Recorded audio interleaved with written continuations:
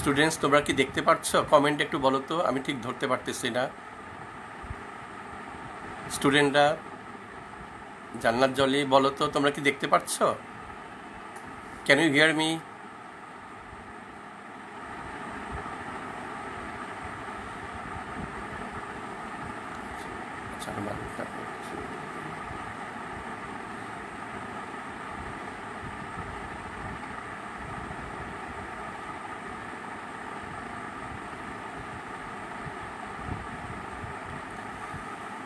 স্টুডেন্টসরা তোমরা একটু কমেন্টে বলো তো, তোমরা আমার কথা শুনতে পাচ্ছ কি না তাহলে আমি একটা একটু পর শুরু করব আমার ক্লাসটা জি স্যার আচ্ছা।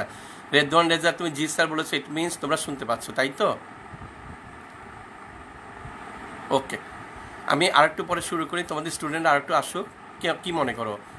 একটু পরে শুরু করি? Okay okay okay thank you sorry for the delay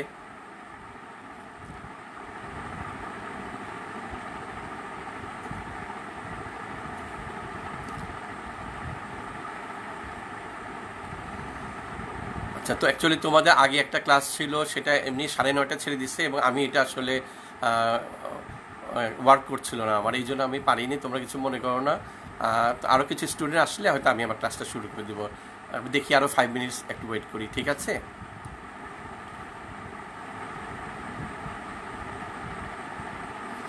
কোনো প্রবলেম হলে বলবা যে, স্যার, আপনি একটু পিছনে যান বা সামনে যান। তোমাদের যেটা সুইটেবল মনে হবে, আমাকে জানাবা। আমি সেটা মেনটেন করার চেষ্টা করব।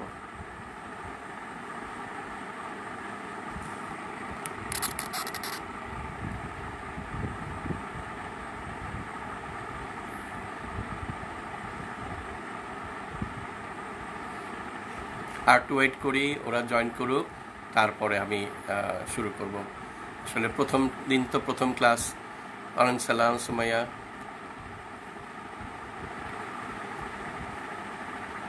একটু ওয়েট করি।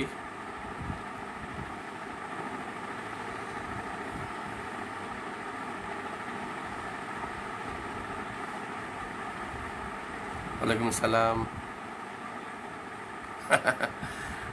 আমিও মিস করতেছি, রাহাত।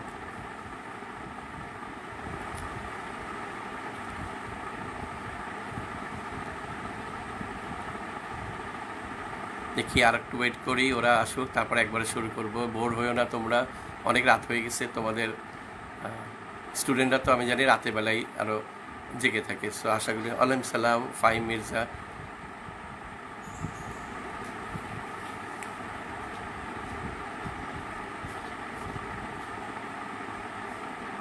তোমরা সবাই ভালো আছো তো এই করোনার সময়? এখানে আমার অনেক স্টুডেন্ট অনেক না, দুই তিনটা মেডিকেল কলেজে কিছু স্টুডেন্ট অবশ্যই আছে যারা আমাকে চিনে বাট ম্যাক্সিমাম ছেলে মেয়ের সাথে আমার পরিচয় নাই। This is my first class তোমাদের সাথে। চেষ্টা করব তোমাদের সাথে একটু গল্প করতে, একটু পড়াতে। ওয়ালাইকুম সালাম। অনেকে আসসালামকে বলতেছে, আমাকে বাদ দিয়ে ওয়ালাইকুম সালাম দিতে হচ্ছে। কারণ ওটা দিতে হয়। সরি ফর দ্য ডিলে আমি আবার বলছি সরি ফর দ্য ডিলে এরপরে আশা করি অসুবিধা হবে না। আমি, আমরা তো আসলে প্রযুক্তিতে তোমাদের মতো কিছুই পারি না। যার ফলে আমি অ্যাকচুয়ালি বাসায় বসে কী দিয়ে কী করব বুঝতে পারতেছিলাম না এই জন্য ভুল হচ্ছিল। তকির আহমেদ ওয়ালাইকুম সালাম ভাইয়া। নুসরাত জান, ওয়ালাইকুম সালাম। ওই মিস ইউ, স্যার হ্যাঁ ও মিস ইউ। হ্যাঁ ভাই। মিস কিন্তু তাও তো এখনও দেখতে পারতেছো। মরে গেলে তো তাও দেখতে পারব না ভাইয়া। আপনি কেমন আছেন? ভালো আছি, আলহামদুলিল্লাহ। আসসালামু আলাইকুম স্যার, শ্রেয়া, ওয়ালাইকুম সালাম। তাহান, ওয়ালাইকুম সালাম।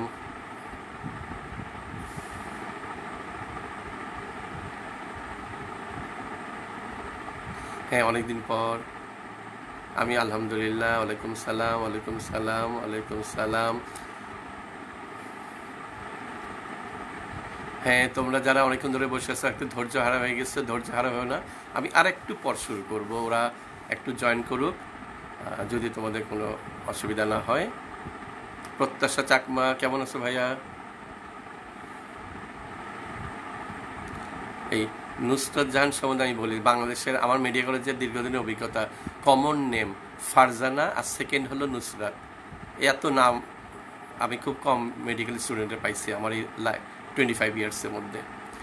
তোমরা অলরেডি যারা এখানে আসছো লাইফে বুঝতে পারছ আমি কীরকম গল্প করি। হ্যাঁ আমি আমি জানি না যে কতটুকু পড়াতে পারব।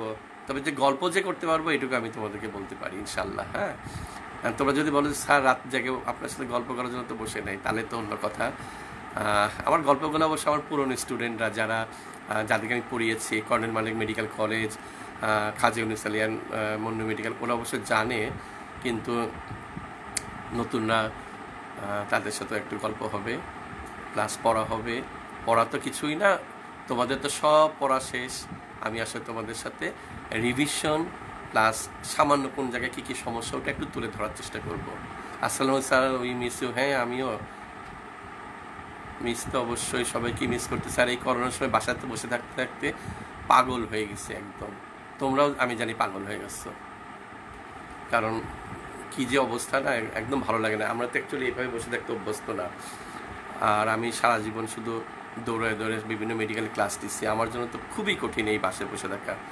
গতকাল একটা স্ট্যাটাস দিছিলাম যে আর একটু হলে পাগল হয়ে যাব। আমার বন্ধু কি লিখেছে জানো? বলছে দোস্ত, তোর বাড়ি তো পাব না মানে বুঝতে যাচ্ছে তুমি তো সালে এমনি পাগল। এখন আমি আর কি, আমি দেখলাম স্ট্যাটাসটা দিয়ে ভুল হয়ে গেছে আসলে। আসলে আমার বাড়ি পাবনা, কিন্তু আসলে আমার বাড়ি এখন আমি এনায়তপুর সিরাজগঞ্জ ওইটা আমার আসল গ্রামের বাড়ি। ওয়ালাইকুম সালাম, ভালো আছি। ছেলেমেয়েরা একটু জয়েন করুক, তারপর কি তোমাদের কোনো অসুবিধা হচ্ছে? রেগে যেও না যে, স্যার, এত দেরি করতেছেন কেন? কি করবে? যে একটার পর একটা আসতেছে, একটার পর একটা আসতেছে। মানিকগঞ্জ মেডিকেল আমার নিজের মেডিকেল কলেজ ওখান থেকে আমি কিছুদিন আগে চলে গেছি। প্রত্যাশা চাকমা ইয়েস প্রত্যাশা। কয়েকদিন, কিছুদিন আগেও তোমার সাথে ছিলাম, তোমাদের সাথে মেডিকেল কলেজে তোমরা ভালো থাকো।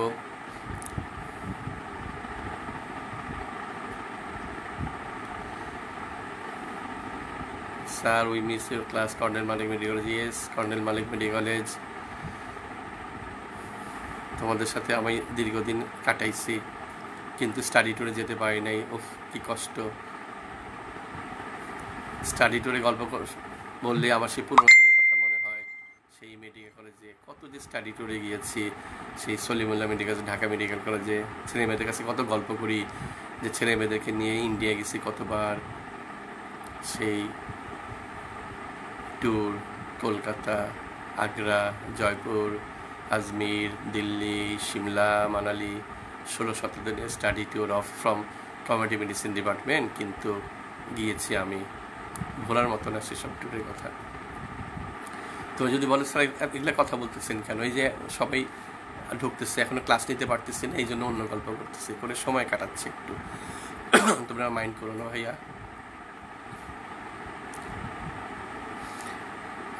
বলো তো আর কতক্ষণ কেউ একটু লিখে দিও, যে আর কখন শুরু করব? যদি বলো যে, স্যার, শুরু করে দেন, আমি করব।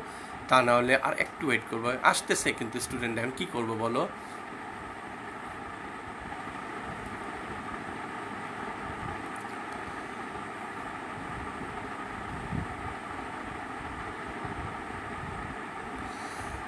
ক্লাস কিন্তু ভাই, ক্লাস বলতে যা বোঝায় সেসব হবে না। তোমাদের সাথে পড়া রিলেটেড গল্প করা হবে প্রপ পরীক্ষা কী কী ধরে, কোথায় কোথায় ছেলে মেয়েদের সমস্যা হয়, সেই জিনিসগুলোই বেসিক্যালি আমি তোমাদের সাথে আলাপ করব। আমি আবার বলি, আমি ধরে নিছি তোমাদের মোটামুটি সবার প্রিপারেশন আছে। এই ক্লাসগুলো শুধুমাত্র যারা একটু পিছিয়ে আসো যারা ফার্স্ট প্রপে ফেল করার জন্য পিছিয়ে আসো তাদের উপকারে লাগবে। আমি এখনও বলি এগুলা মেইনলি তাদের জন্য হবে। আর যারা অ্যাকচুয়ালি ফার্স্ট পপ আগে পাস করছ আইটেমগুলো রেগুলার করে দিছো, তারা তো এখন আমার চেয়ে অনেক অনেক অনেক ভালো জানো। আমি মনে করি তারা আমার চেয়ে অনেক অনেক অনেক অনেক ভালো জানো। মেডিকেল স্টুডেন্ট তোমরা ইয়াং তোমরা আমাদের চেয়ে তোমাদের ব্রেইন অনেক ভালো। তোমাদের একজনের ব্রেন যদি একটা দাড়ি পাল্লা রাখা হয়, তাহলে আমাদের দুজন টিচারের ব্রেন আর একটা দাড়ি পাল্লা রাখতে হবে। কারণ তোমাদের ওয়েট এত বেশি। মানে ব্রেনের ওয়েট বেশি বডির না। বডির ওয়েট বলে তো আবার রেগে যাব। যে স্যার আপনি আমার মোটা বললেন, না, মোটা বলি নাই। তোমাদের ব্রেনের ওয়েটের কথা বলছি, সেটা খুব ভালো তোমাদের। খুব খারাপ লাগতেছে, ছেলেমেয়েরা বারবার লিখতেছে, স্যার আপনাকে মিস করতেছে। আরে ভাই মিস তো আমিও করতেছি, কি করব? তাও তো বেঁচে আসছি বেঁচে না থাকলে তো কি হইতো? হ্যাঁ ক্লাস শুরু করার আগে অবশ্যই আমি একটু মৃত্যুর কথা দিয়েই ক্লাস শুরু করব। সেটা আমার সাথে যারা ফেসবুকে আছে তারা জানো। বাট অ্যাকচুয়ালি ম্যাক্সিমাম ছেলে মেয়ে তো আমার সাথে ফেসবুকে নাই। এই জন্য তাদেরকে একটু বলে হয়তো আমি ক্লাসটা শুরু করব। তোমরা কি লিখবা? আমি ক্লাস শুরু করতে পারি নাকি আর একটু ওয়েট করব স্টুডেন্টদের জন্য? এই যে আসতেছে কন্টিনিউস তো ঢুকতেছে। এখন আমি কি করব বলো ভাইয়া?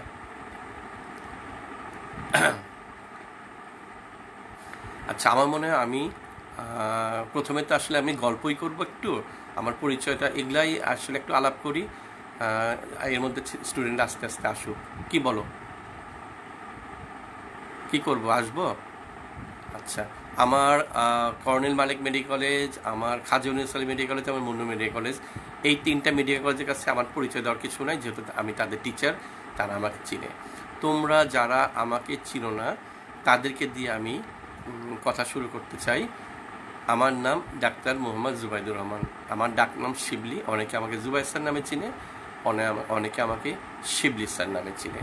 আচ্ছা আমি রিসেন্টলি সরকারি মেডিকেল থেকে সেলফ রিটায়ারমেন্ট নিয়েছি। সেটা হলো মানিকগঞ্জ মেডিকেল কলেজ বা Colonel Manik medical college Manikganj.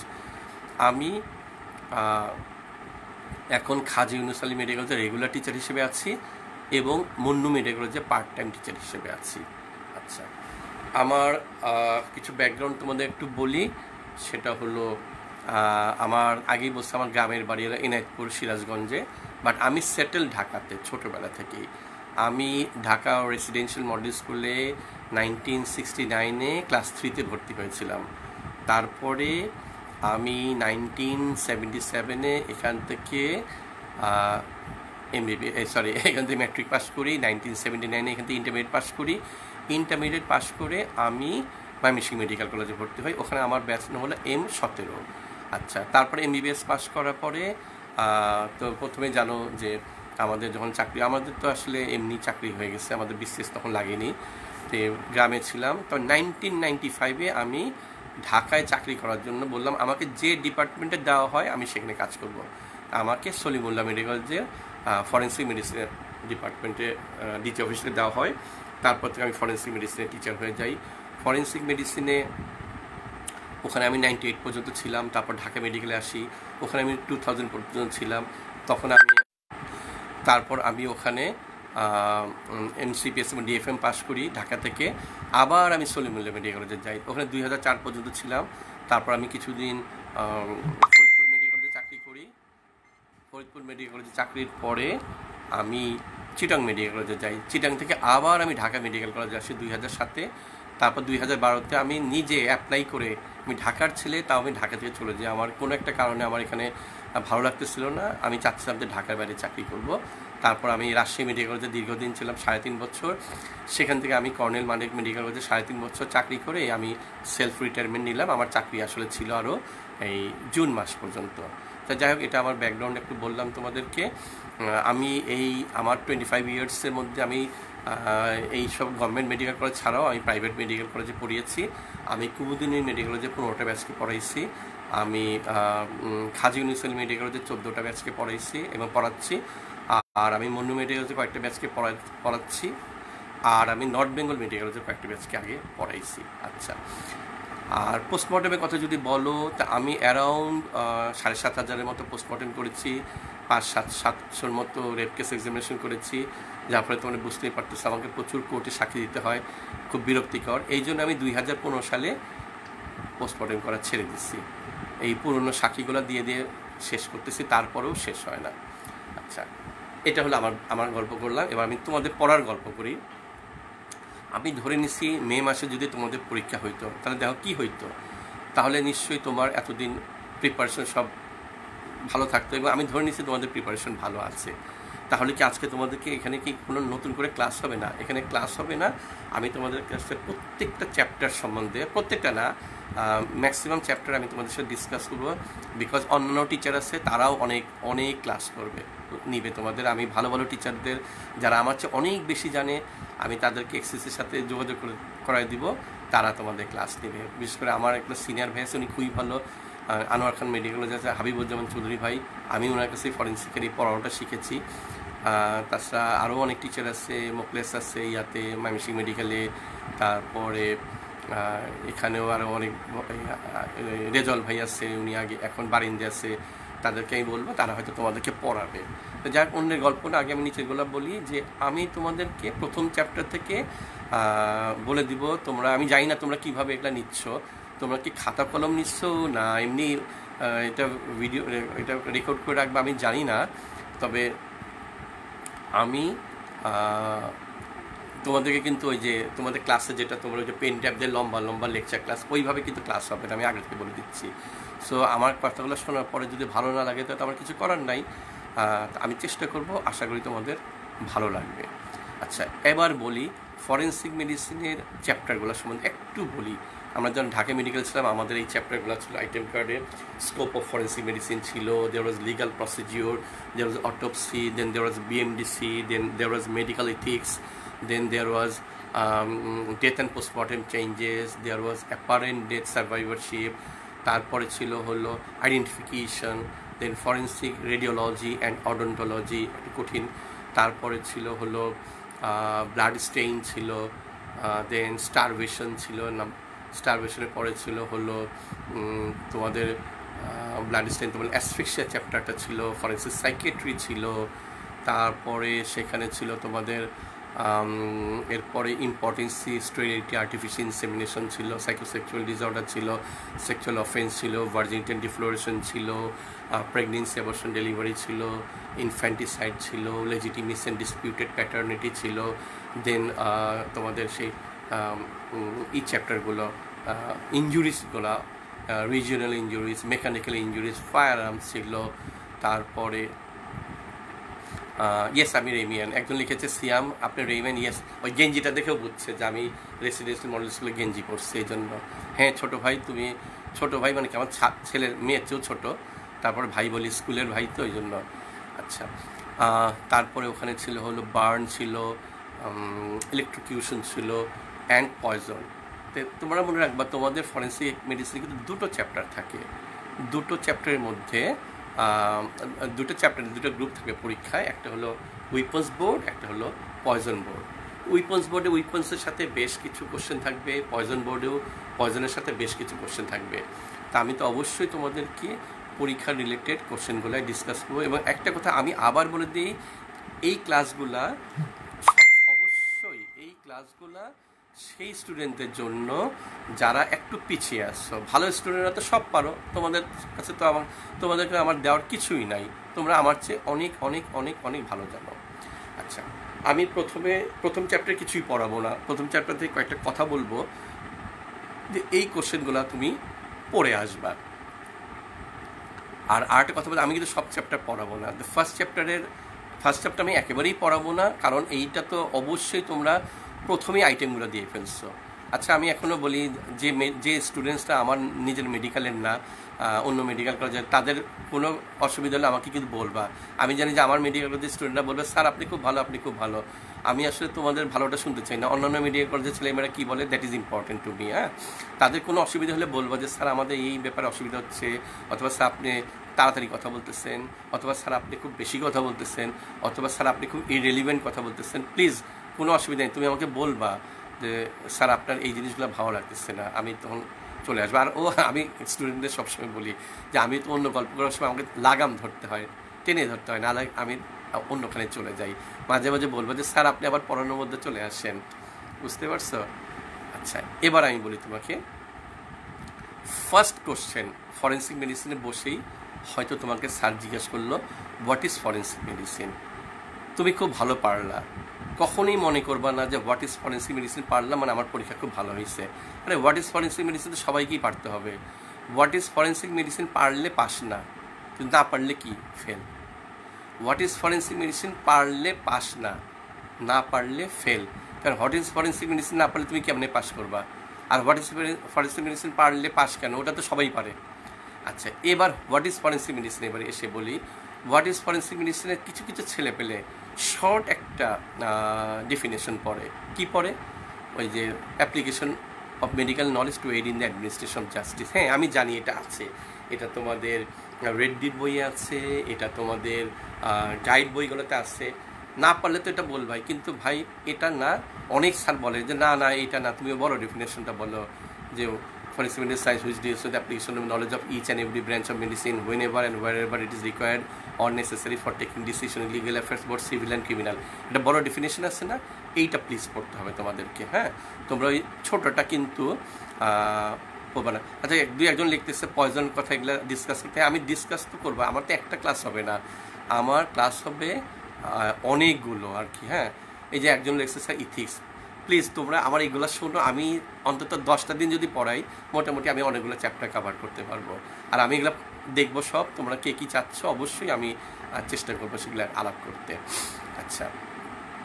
Forensic মেডিসিনের ডেফিনেশনটা সবাইকে জানতে হবে, তারপরেই তোমাকে জিজ্ঞেস করতে পারে ফরেন্সিক নামটা কোথা থেকে এসেছে? এইটা একটু জানতে হবে। এগুলো কিন্তু সব বই আছে, শোনো। কোনো কিছু কিন্তু আমার বানানো গল্প না। প্রত্যেকটা যে বই আছে, আমি তোমার মতো বই পড়ছি। সো প্লিজ আমাকে জিজ্ঞাসা না করে একটু এগুলা লিখে রাখতে পারো, এগুলো তুমি পড়ে নিবা। ফরেন্সিক নামটা ফরেন্সিক কোথা থেকে আসছে? অনেক সারা জিজ্ঞাসা করে, তারপর জিজ্ঞাসা করে what is medical jurisprudence and একটা কথা জুরিস মানে কি? প্রুডেন্স মানে কি? অনেকে এটা ভালো আমাকে অনেকে জিজ্ঞাসা করতেছে পড়ার মধ্যে স্যার প্রফ কবে হবে? ত্যান। আমি তো জানি না ভাই প্রফ কবে হবে, তবে আমার ধারণা এটা জুলাইয়ের শেষে বা অগাস্টে হবে, আমার ধারণা। কিন্তু আমি কিন্তু তোমাদের দিন না, আমি এটা বলতে পারি না। তো নিজেরাই বুঝতে পারতেছো প্রফ কেমন করে তাড়াতাড়ি হবে? আচ্ছা দেখো, আমার পড়ার মধ্যে খালি ইন্টার হচ্ছে। জুরিস মানে কি প্রুডেন্স মানে কি? এটা অনেক স্যার জিজ্ঞেস করে অনেক ছেলেমেয়েরা পারে না। এই জন্য আমি তোমাদেরকে বারবার বলতেছি, আমার এই কথাটা লিখে রাখো যে জুরিস এবং প্রুডেন্স মানেটা কি? এটা স্যাররা জিজ্ঞাসা করে। ফরেন্সিক নামটা কোথা থেকে আসছে? তাহলে ফরেন্সিক মেডিসিন ডেফিনেশন গেল জুরিস প্রুডেন্সের ডেফিনেশন এবং জুরিস আর প্রুডেন্স মানে কি? এটা জিজ্ঞাসা করবে। আচ্ছা এক, এটা হলো ভাইবার কোশ্চেন আমি তোমাকে বললাম রিটেনেও এটা আসতে পারে। আচ্ছা তোমাদের কিন্তু একটা কোশ্চেন জিজ্ঞাসা করবে, সেটা হলো রিটেনে আসবে সরি এবং এটা ইয়েস সরি একজন ফায়ার আমি বারবার কথা বলব। এই ফায়ারান্স ভালো বুঝি না। একটা ছেলে বলছে হ্যাঁ ফায়ারান্স তুমি বোঝো না, আমিও বুঝি না। ফায়ারান্স খুবই কঠিন। ফায়ারান্স ফায়ারান্সের জন্য তোমাদেরকে ফায়ারান্স বিশেষজ্ঞ, ডাক্তারকে আমি অনুরোধ করব তারা জানি তোমাকে সুন্দর করে বুঝে দিতে পারে। তারপরে তুমি বলবা, বুঝি না। কারণ আমি যখন পঁচিশ বছরে বলতেছি, বুঝি না, তো তুমি আর একদিনে কী করে বুঝবা? রিয়েলি ওটা একটু কঠিন। আমি কিছু সহজ জিনিস বলব এবং অবশ্যই তোমাদেরকে আরও ভালো স্যার ফায়ারান্স পড়াবে। আচ্ছা স্কোপ অফ ফরেন্সিক ওখানে একটা রিটার্নে কোশ্চেন আসে হোয়াট ইজ সেটা হলো, তুই কেন ফরেন্সিক মেডিসিনটা পড়ো? এই জিনিসটা আমাদের, দেখলাম আমি, আমাদের রাজশাহী ইউনিভার্সিটিতে এই কোশ্চেনটা একটু ধরে। এই জিনিসটা তোমাদের গাইড বই আছে, ওইটা থেকে তুমি পড়ে নিবা, আমি ওটা নিয়ে কোনো কথা বলতে চাচ্ছি না। আর আগে একটা জিনিস আছে, সেটা হলো যে ওই যে একটা হিস্ট্রি আছে ওটার অনেকগুলো কথা হিস্ট্রিতে বলা আছে, অত কিছু লাগবে না। দুই চারটা তোমাকে জিজ্ঞেস করে ফার্স্ট ফরেন্সিক মেডিসিনে পোস্টমর্টম কবে করা হয়েছে ফরেন্সিক মেডিসিনের উপর বই কবে লেখা হয়েছে মেডিকেল লিগাল কাজ কোথায় প্রথম শুরু হয়েছে দু একটা জিজ্ঞেস করলেও করতে পারে। তোমরা একটু হিস্ট্রিটা পড়ে নিও। দেখো, এই জিনিসগুলো আমার বলার কিছু নাই, এটা তোমার মুখস্থ করতে হবে। কারণ ফার্স্ট পোস্টমর্টম কবে করা হয়েছে, এটা তো আমি বুঝাইতে পারব না, এটা বই লেখা আছে। তুমি এগুলো পড়ে নিবা। সো এই চ্যাপ্টার থেকে আসলে তোমাদের সাথে ডিসকাস করার কিছু নাই। মেইন ডিসকাস করাটা অ্যাকচুয়ালি তোমাদের করতে হবে লিগাল প্রসিডিওর চ্যাপ্টার থেকে। হুম। সেটা হলো এখানে বেশ কয়েকটা কোশ্চেন তোমাকে আচ্ছা আর দু একটা বড় কোশ্চেন বাদ দিয়ে গেছি রিটেনের জন্য।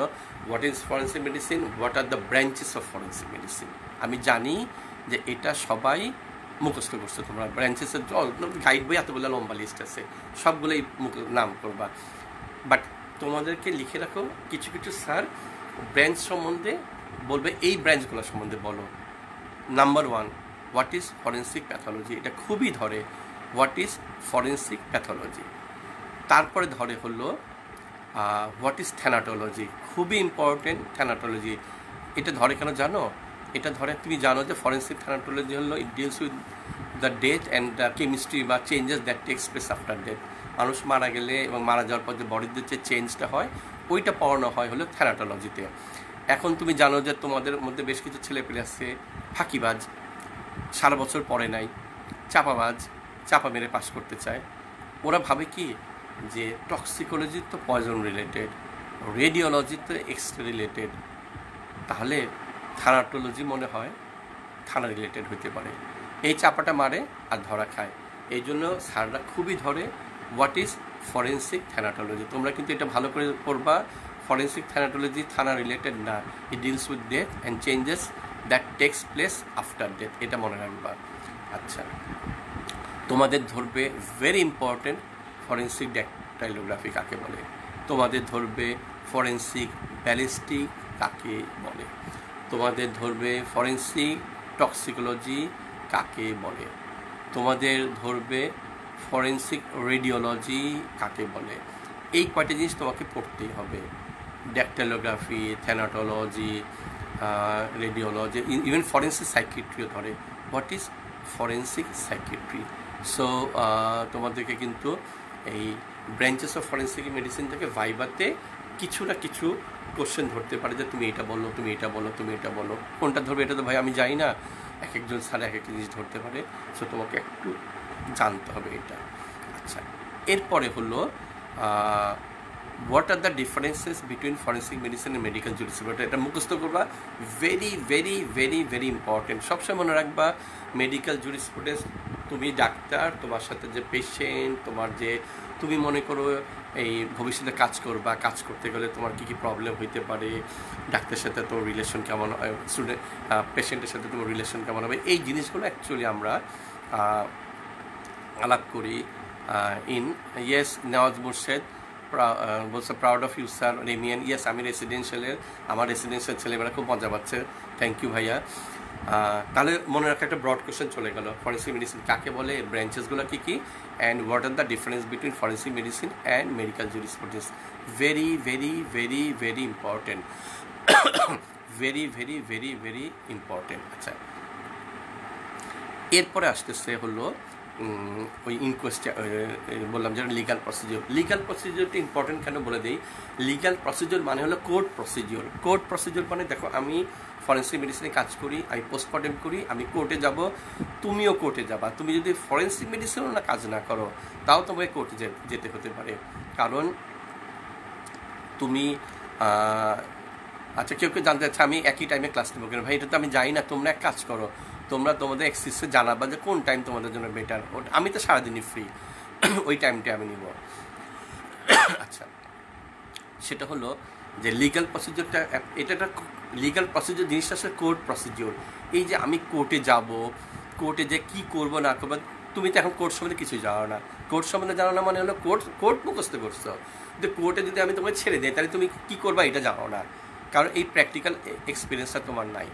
যেটা নাকি তোমার লাগতে পারে, কারণ তুমি যখন ডাক্তার হবা প্র্যাকটিস করবা, তুমি কিন্তু ইঞ্জুরি সার্টিফিকেট দিবা। ইঞ্জুরি সার্টিফিকেট দিলে তোমাকে কোর্টে কিন্তু সাক্ষী দিতে যেতে হবে। এই জন্য তোমাকে কোর্ট সম্বন্ধে জানতে হবে।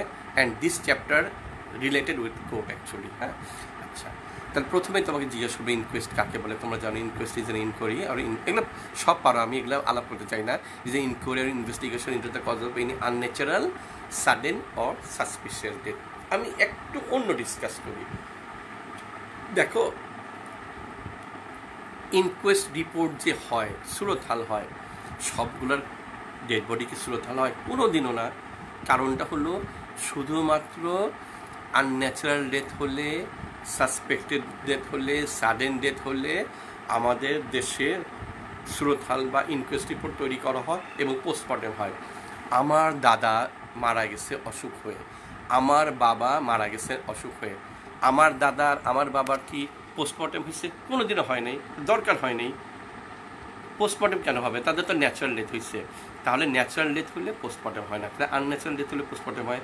সাডেন ডেথ সাসপিশিয়াস ডেথ হলে পোস্টমর্টেম হয়। তোমাকে কিন্তু স্যাররা জিজ্ঞাসা করতে পারে, এই যে আচ্ছা তুমি মানে কিছু কিছু কোশ্চেন আছে ট্রিকি কোশ্চেন ভাইবা বোর্ড তো তুমি বুঝো। খুব, ভাইবা বোর্ডে এমন একটা জিনিস। এখানে আমরা পেইড কোশ্চেন পছন্দ করি। যে আমি রাত্রেবেলা মুখস্থ করে আসছি, ওগুলা জিনিস আমাকে ধরে। কিন্তু এই যে বানায় যদি একটা কিছু সোজা জিনিস ধরে, তাও কিন্তু মাথায় আসতে চায় না। কারণ পরীক্ষা জিনিসটা যে কি, সেটা তো তোমরা যা ফার্স্ট পাপ দিয়ে আসতে জানো। বিশ্বাস করো, তোমাকে যদি বলা হয় যে তুমি যে বললা আনন্যাচারাল ডেথের পোস্টমর্টম আনন্যাচারাল ডেথ আবার কি? দেখবা যে হঠাৎ করে তুমি কিছুই বলতে পারতেছো না। এই জন্য আমি বলি, অথচ তুমি সব জানো। আর যেগুলা তুমি পোস্টমর্টম দেখে আসছো মর্গে গিয়ে। ওগুলো সবই তো আনন্যাচারাল ডেথ ছিল। সো আনন্যাচারাল ডেথ এই যত, তুমি দশটা রিপোর্ট লিখছো না, তোমার দশটা রিপোর্টই তো আনন্যাচারাল ডেথ কিন্তু দেখবা কি জানো? তুমি হঠাৎ করে কিছুই বলতে পারতেছো না। তুমি হ্যাঙ্গিং বলো ড্রাউনিং বলো স্ট্র্যাঙ্গুলেশন বলো রোড ট্রাফিক অ্যাক্সিডেন্ট বলো ফল ফ্রম হাইট বলো পয়জনিং বলো ফায়ার আর্ম ইঞ্জুরি বলো স্ট্যাব ওন বলো কাট থ্রোট ওন বলো, সব হলো আনন্যাচারাল ইলেকট্রিকেশন বলো বার্ন বলো, এগুলো সব হলো আনন্যাচারাল ডেথ আচ্ছা তাহলে আনন্যাচারাল ডেথেরই একটা ছেলে জানতে চাইছে, স্যার সুরথাল সম্বন্ধে বলে, আমি অ্যাকচুয়ালি এই যে ইনকোয়েস্ট রিপোর্ট এটাই হলো সুরথাল। এটা একটু বোঝানোর চেষ্টা করব তোমাদেরকে। এগুলো হলো প্র্যাকটিক্যাল কথাগুলো। বইয়ের মুখস্থ জিনিস তো তুমি আমার চেয়ে ভালো পারো হ্যাঁ? আচ্ছা আচ্ছা তাহলে আনন্যাচারাল ডেথের জন্যই অটোপসি হয় বা পোস্টমর্টেম হয়। পোস্টমর্টেম করতে গেলে এই সুরথাল জিনিসটা একটা পার্ট সুরথাল না থাকলে ইনকোয়েস্ট রিপোর্ট না থাকলে কখনোই পোস্টমর্টেম করবা না। তুমি যখন ডাক্তার হবা, তোমাকে যদি ইনকোয়েস্ট রিপোর্ট না দেয়, তুমি পোস্টমর্টেম করবা না। আচ্ছা ইনকোয়েস্টের সম্বন্ধে বলি ফার্স্ট জানতে হবে তোমাকে পুলিশ ইনকোয়েস্ট কারণ আমাদের দেশে পুলিশ ইনকোয়েস্ট করা হয়। আমাদের দেশে ম্যাজিস্ট্রেট ইনকোয়েস্টও করা হয়। আর কি করা হয়? আমাদের দেশে আর একটা করা হয় না, সেটার নাম হলো যেটা করোনার ইয়া ইংল্যান্ডে করে ওরা, তাই না? আচ্ছা করোনার আছে ওদের দেশে। আচ্ছা। ইউএসের কিছু কিছু জায়গায় মেডিকেল লিগাল মেডিকেল এক্সামিনের সিস্টেম আছে। আমার ওটা শুনে কোনো লাভ নেই আমাদের ওখানে করা হয় না। তুমি মেডিকেল এক্সামিনের সিস্টেম ইংল্যান্ড ইউএসের কোনো কোনো স্টেটে করা হয় মেডিকেল এক্সামিনের সিস্টেমে কে করে স্যার একজন ডাক্তার ইনকোয়েস্ট করে। তুমি খুব ভালো পারো। কিন্তু দেখা গেলো তুমি পুলিশ ইনকোয়েস্ট সম্বন্ধে কিছু জানো না। কোনো লাভ নেই। এই জন্য তোমাকে পুলিশ ইনকোয়েস্টটা খুব ভালো করে জানতে হবে। ওকে পুলিশ যে ইনকোয়েস্ট করে the inquest which is usually prepare by a police officer not below the rank of a sub inspector is called police inquest the inquest which is usually done by a police officer not below the rank of a sub inspector is police inquest এইটা খুব ভালো করে জানতে হবে, কারণ আমাদের দেশের maximum ইনকোয়েস্টগুলাই police inquest তাহলে আমাদের দেশে আবার ম্যাজিস্ট্রেট ইনকোয়েস্ট হয় কেন? আমাদের দেশে ম্যাজিস্ট্রেট ইনকোয়েস্ট হয়। তোমরা জানো, পুলিশ যেসব কেসে ইনভলভ থাকে, পুলিশের ইনভলভমেন্ট থাকলে তখন আর পুলিশকে দিয়ে আমরা ইনকোয়েস্ট করাই না। সেটা আমি একটু পর এক্সপ্লেন করব। তখন আমরা ম্যাজিস্ট্রেট ইনকোয়েস্ট করি। তাহলে আগে পুলিশ ইনকোয়েস্ট সম্বন্ধে আমাদের একটু জানতে হবে। পুলিশ ইনকোয়েস্ট কে করে? A police officer who is that officer a police officer who is not below the rank of a sub inspector ছোট্ট করে কিছু বলি, এগুলো সব বিসিএসে কাজে লাগবে। পুলিশের সাব ইন্সপেক্টর কে, পুলিশের ওসি কে, পুলিশের এএসপি কে একটু জানো তোমরা, তাও বলে রাখি। সবচাইতে ছোট পোস্ট পুলিশের যেটা দ্যাট ইজ কনস্টেবল মনে রাখবা, একটা কনস্টেবল হওয়ার জন্য কি লাগে? আমাদের দেশে এইট পাস মানে তুমি যখন ক্লাস এইটে পাস করে গেছো, তখন যদি কোনো বলা হয়, এই আমাদের দেশে পুলিশ না হবে। মানে তোমার কথা সরি আমি। তাহলে আমি ক্লাস এইট পাস করছি, আমি যদি লাইনে দাঁড়ায় পুলিশের খাতায় নাম দিতাম, তাহলে আমি একটা কনস্টেবল হতে পারতাম। এখন কিন্তু এইট পাস আলাদের কনস্টেবল পোস্টে দেয় না, কারণ দেশে বুঝে দিতে পারতেছো বিএ পাস করে চাকরি পায় না, ওরাই ওরাই কনস্টেবল পোস্টে ঢুকে যায়। তা যাই হোক, এরা কিন্তু এটা একটা পোস্ট যে ছোট পোস্ট এরা তুমি জানো রাস্তায় ঘাটে কাজ করতেছে, এরা রাস্তায় দাঁড়িয়ে আছে থানা ভর্তি। এর উপরে আছে অ্যাসিস্ট্যান্ট সাব ইন্সপেক্টর আসলে অ্যাসিস্ট্যান্ট সাব ইন্সপেক্টরও ইনকোয়েস্ট রিপোর্ট তৈরি করতে পারে না। Assistant sub inspector cannot produce a inquest report he cannot prepare it তার তার রাইট নাই করার। অ্যাসিস্ট্যান্ট সাব ইন্সপেক্টর উপরে লোকটাকে সাব ইন্সপেক্টর সাব ইন্সপেক্টরের রাইট আছে। আমরা বাংলায় প্রায় এদেরকে বলি কি, দারোগা। কেউ কেউ বলে সেকেন্ড অফিসার আছে, দারোগা। এই দারোগাগুলো অ্যাকচুয়ালি একটা থানাতে আটটা, দশটা, বারোটা, ছয়টা দারোগা থাকে। তারাই ইনকোয়েস্ট রিপোর্ট প্রিপেয়ার করে। ক্লিয়ার তোমাদের কাছে? আচ্ছা ইনকোয়েস্ট রিপোর্ট প্রিপেয়ার করে বলতে আমি আর একটু ভালো করে বুঝাই বলার চেষ্টা করি, যদিও তোমরা ম্যাক্সিমাম ছেলেমেয়েটা জানো। দুই, তিনজন স্যার আমাকে একটু বুঝাই বলেন, এই জন্য বলতেছি। মনে করো আমি একজন সাব ইন্সপেক্টর আমি ডাক্তার না, আমি একটা সাব ইন্সপেক্টর আমি থানায় কাজ করি, আমার উপরে একজন ওসি আছে। ওসিরা কিন্তু আগে সেকেন্ড ক্লাস অফিসার ছিল এখন তারা they have become first class officer আচ্ছা তারা ইনকোয়েস্ট করে না, তারা আসলে থানাটা কন্ট্রোল করে। থানার উপরে, এই ওসির উপরে থানাতে কিন্তু আরেকজন অফিসার আছে। এই যে তুমি তুমি যদি বিসিএস দিয়ে যাও, তাহলে তুমি ওসি হবে না, তুমি এসি বা এএসপি হবা। দুইটা থানা মিলে একজন এসপি থাকে সাধারণত। অনেক সময় একটা বড় থানাতে এসপি থাকে। দে বিসিএস অফিসার হ্যাঁ? তুমি যদি এমবিবিএস পাস করো, বলো আমি ডাক্তারি করব না, আমি পুলিশ অফিসার হব, তাহলে তুমি বিসিএস দাও এবং you can be a SC বা এসপি। আচ্ছা ইউজুয়ালি তারাও কখনো ইনকোয়েস্ট করতে যায় না। তারা তো খালি অর্ডার দেয়। তাহলে inquest report is produce usually by a sub inspector বা the answer is not below the rank of a sub inspector এখন you are a sub inspector you are working in a thana, তুমি জানতে পারলা যে আমাদের বাড়ির পাশে রোডে একটা ডেড বডি পড়ে আসছে তো তোমাকে ওসি সাহেব নির্দেশ দিল okay you go there and prepare a inquest report তখন তুমি তোমার টু বা থ্রি কনস্টেবল নিয়ে তুমি সেই এরিয়া ভিজিট করবা। গিয়ে তুমি আশেপাশের লোককে জিজ্ঞাসা করবা যে আচ্ছা ভাই, কেউ কি জানেন এই লোকটা কি হয়েছিল বা কীভাবে মারা গেছে? দেয়ার are some there may be some people যারা দে হ্যাভ সিন অনেক কিছু তো হতে পারে। আমি একটু তোমাকে এক্সাম্পল দিচ্ছি। একজন এসে বলল যে স্যার আমি রাস্তার পাশ দিয়ে যাচ্ছিলাম, আমি দেখলাম যে একটা লোক রাস্তার মাঝখান দিয়ে যাচ্ছে, একটা গাড়ি ওকে ধাক্কা মেরে চলে গেছে। তাহলে তুমি সে পুলিশ অফিসে একটা আইডিয়া পাইলো maybe it's a case of road traffic accident আবার আরেকটা হতে পারে, স্যার, আমি রাস্তাতে হেঁটে যাচ্ছিলাম ওই ক্রাইম পেট্রোল দেখা যায়। তারপর দেখি রাস্তার পাশে একটা ডেড বডি পড়ে আছে গলা কাটা। তুমি তখন ধরে নাও, যে মনে হয় তাকে কেউ মেরে ফেলে দিছে, বুঝতে পারছ? ওকে তো পুলিশ অফিসার ওই ইনকোয়েস্ট রিপোর্ট তৈরি করে, তার যেহেতু বুদ্ধি আছে, তার পড়াশোনা আছে, তার একটা আইডিয়া আছে, সে আশেপাশের লোককে জিজ্ঞেস করে, তারপরেও তারপরেও তার নিজস্ব আইডিয়া থেকে সে একটা ইনকোয়েস্ট রিপোর্ট তৈরি করে। ইনকোয়েস্ট রিপোর্টটা কেমন, আমি এবার তোমাকে বলি। সেল তোমরা আগে তোমরা পেজ দেখছ, দিস্তার পেজ যেটা মনে করো যে এত বড় একটা পেজ সাদা পেজ এই সাদা পেজগুলোতেই আসলে আগে ইনকোয়েস্ট রিপোর্ট করা হতো। এখন দেখতেছি there are some inquest reports prepared by the government গভর্নমেন্টের বেশ কিছু প্রেসক্রাইব ফর্ম আছে but in all over Bangladesh usually it is prepared on a white paper এই যে দোকানে গেলে দিস্তা পেপার বলো না, সেই ধরনের পেপার তুমি ওই এই সাব ইন্সপেক্টর নিয়ে যায়, তারপর সে লেখে। আমি একটু এগুলো একটু এক্সপ্লেন করতেছি, কারণ এইটা তো বই আসলে ওইভাবে বোঝানো নাই। এইটা একটু বোঝানোর জিনিস আছে। আর মুখস্থ করার জিনিসটা তুমি মুখস্থ করবাই। ওটা নিয়ে তো আমি বেশি কথা বলব না। আচ্ছা এবার শোনো, ওই ইনকোয়েস্ট রিপোর্টে ওখানে সে লেখে যে সে থানার নাম, আমি মোহাম্মদপুরে বাসায় আছি যেহেতু এখন মোহাম্মদপুর থানা তারপরে আজকে ডেট লেখে টোয়েন্টি সেকেন্ড অফ এপ্রিল তারপর লেখা, আমি mister X with two constable I heard that there there is a dead body near the road এই মিরপুর রোড, তারপর সে বাংলা, এগুলো সব বাংলায় লেখে। সে লেখে যে তারপর আমি মিরপুর রোডের কাছে গেলাম। যাওয়ার পরে আমি দেখলাম যে হ্যাঁ একটা ডেড বডি পড়ে আছে। ইট ইজ এ মেল পুরুষ age approximately forty five years তার ধারণা। আচ্ছা দেন ওর বডিতে শার্ট আছে প্যান্ট আছে বাট তার বডিতে অনেক মাল্টিপল ইঞ্জুরি আছে। সেই ইঞ্জুরিগুলো লেখে যে এখানে দেখো তোমরা লেখো অ্যাব্রেশন ব্রুইজ হ্যাঁ তারপরে তোমরা লেখো যে ওই লেসার্টেন ওন পুলিশ তো অ্যাব্রেশন লেখে না ব্রুজ লেখে না, তার বাংলায় লেখে। তোমরা একটু বাংলাটা জানতে হবে হ্যাঁ?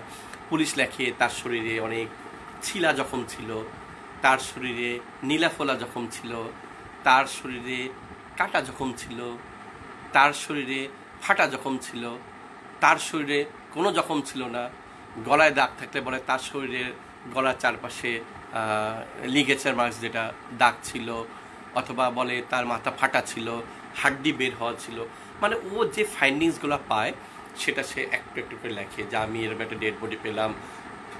তার আগে সে বলে যে আমি আশেপাশে লোককে জিজ্ঞেস করলাম যে, আপনার কি একে কেউ চেনে কিনা? ওরা বলে যে হ্যাঁ আমরা একে চিনি। এর নাম অমুক। তখন লেখে যে তার নাম মিস্টার এক্স তার ফাদারের নাম অমুক, তার বাসা ওখানে।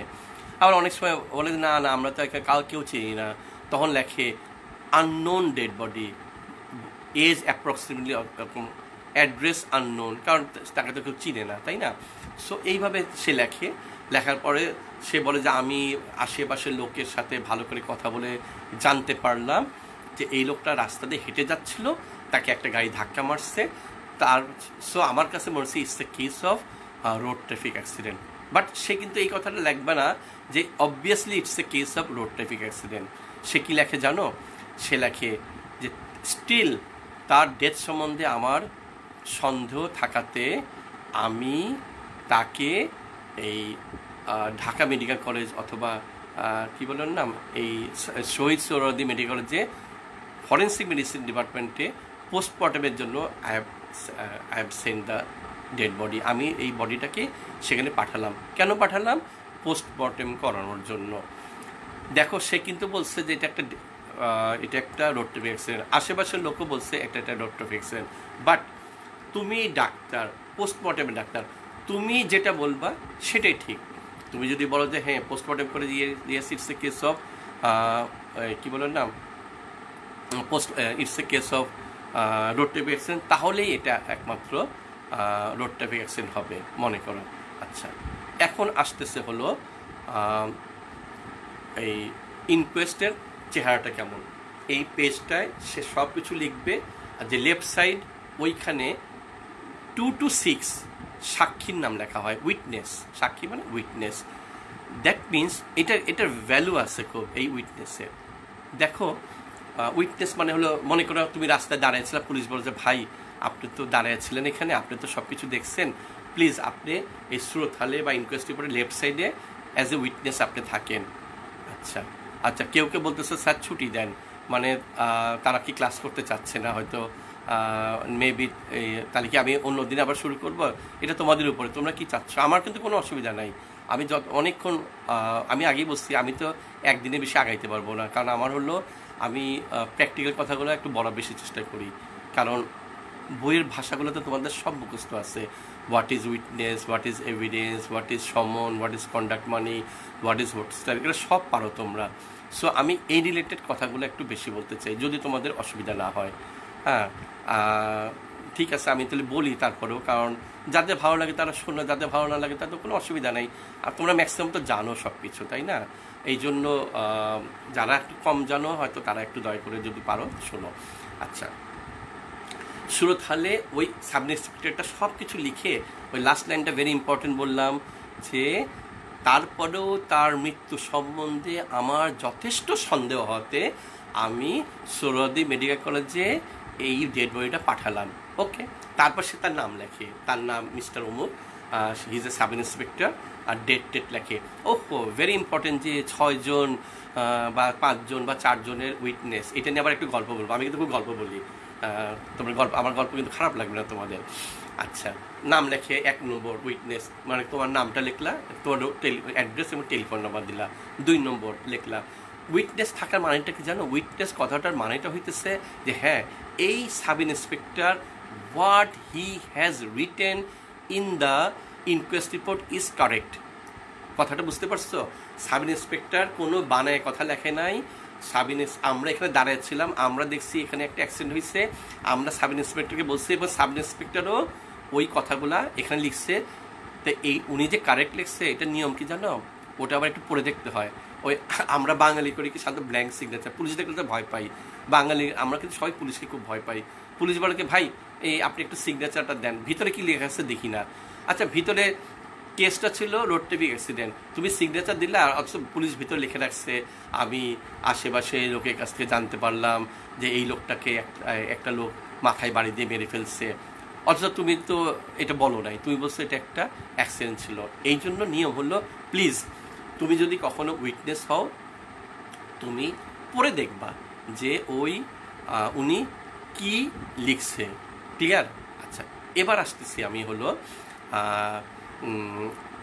একটা অভয় দিচ্ছি যদি কখনো উইট ই হ। হ্যাঁ মালিকা ওয়ালাইকুম আসসালাম ভাই।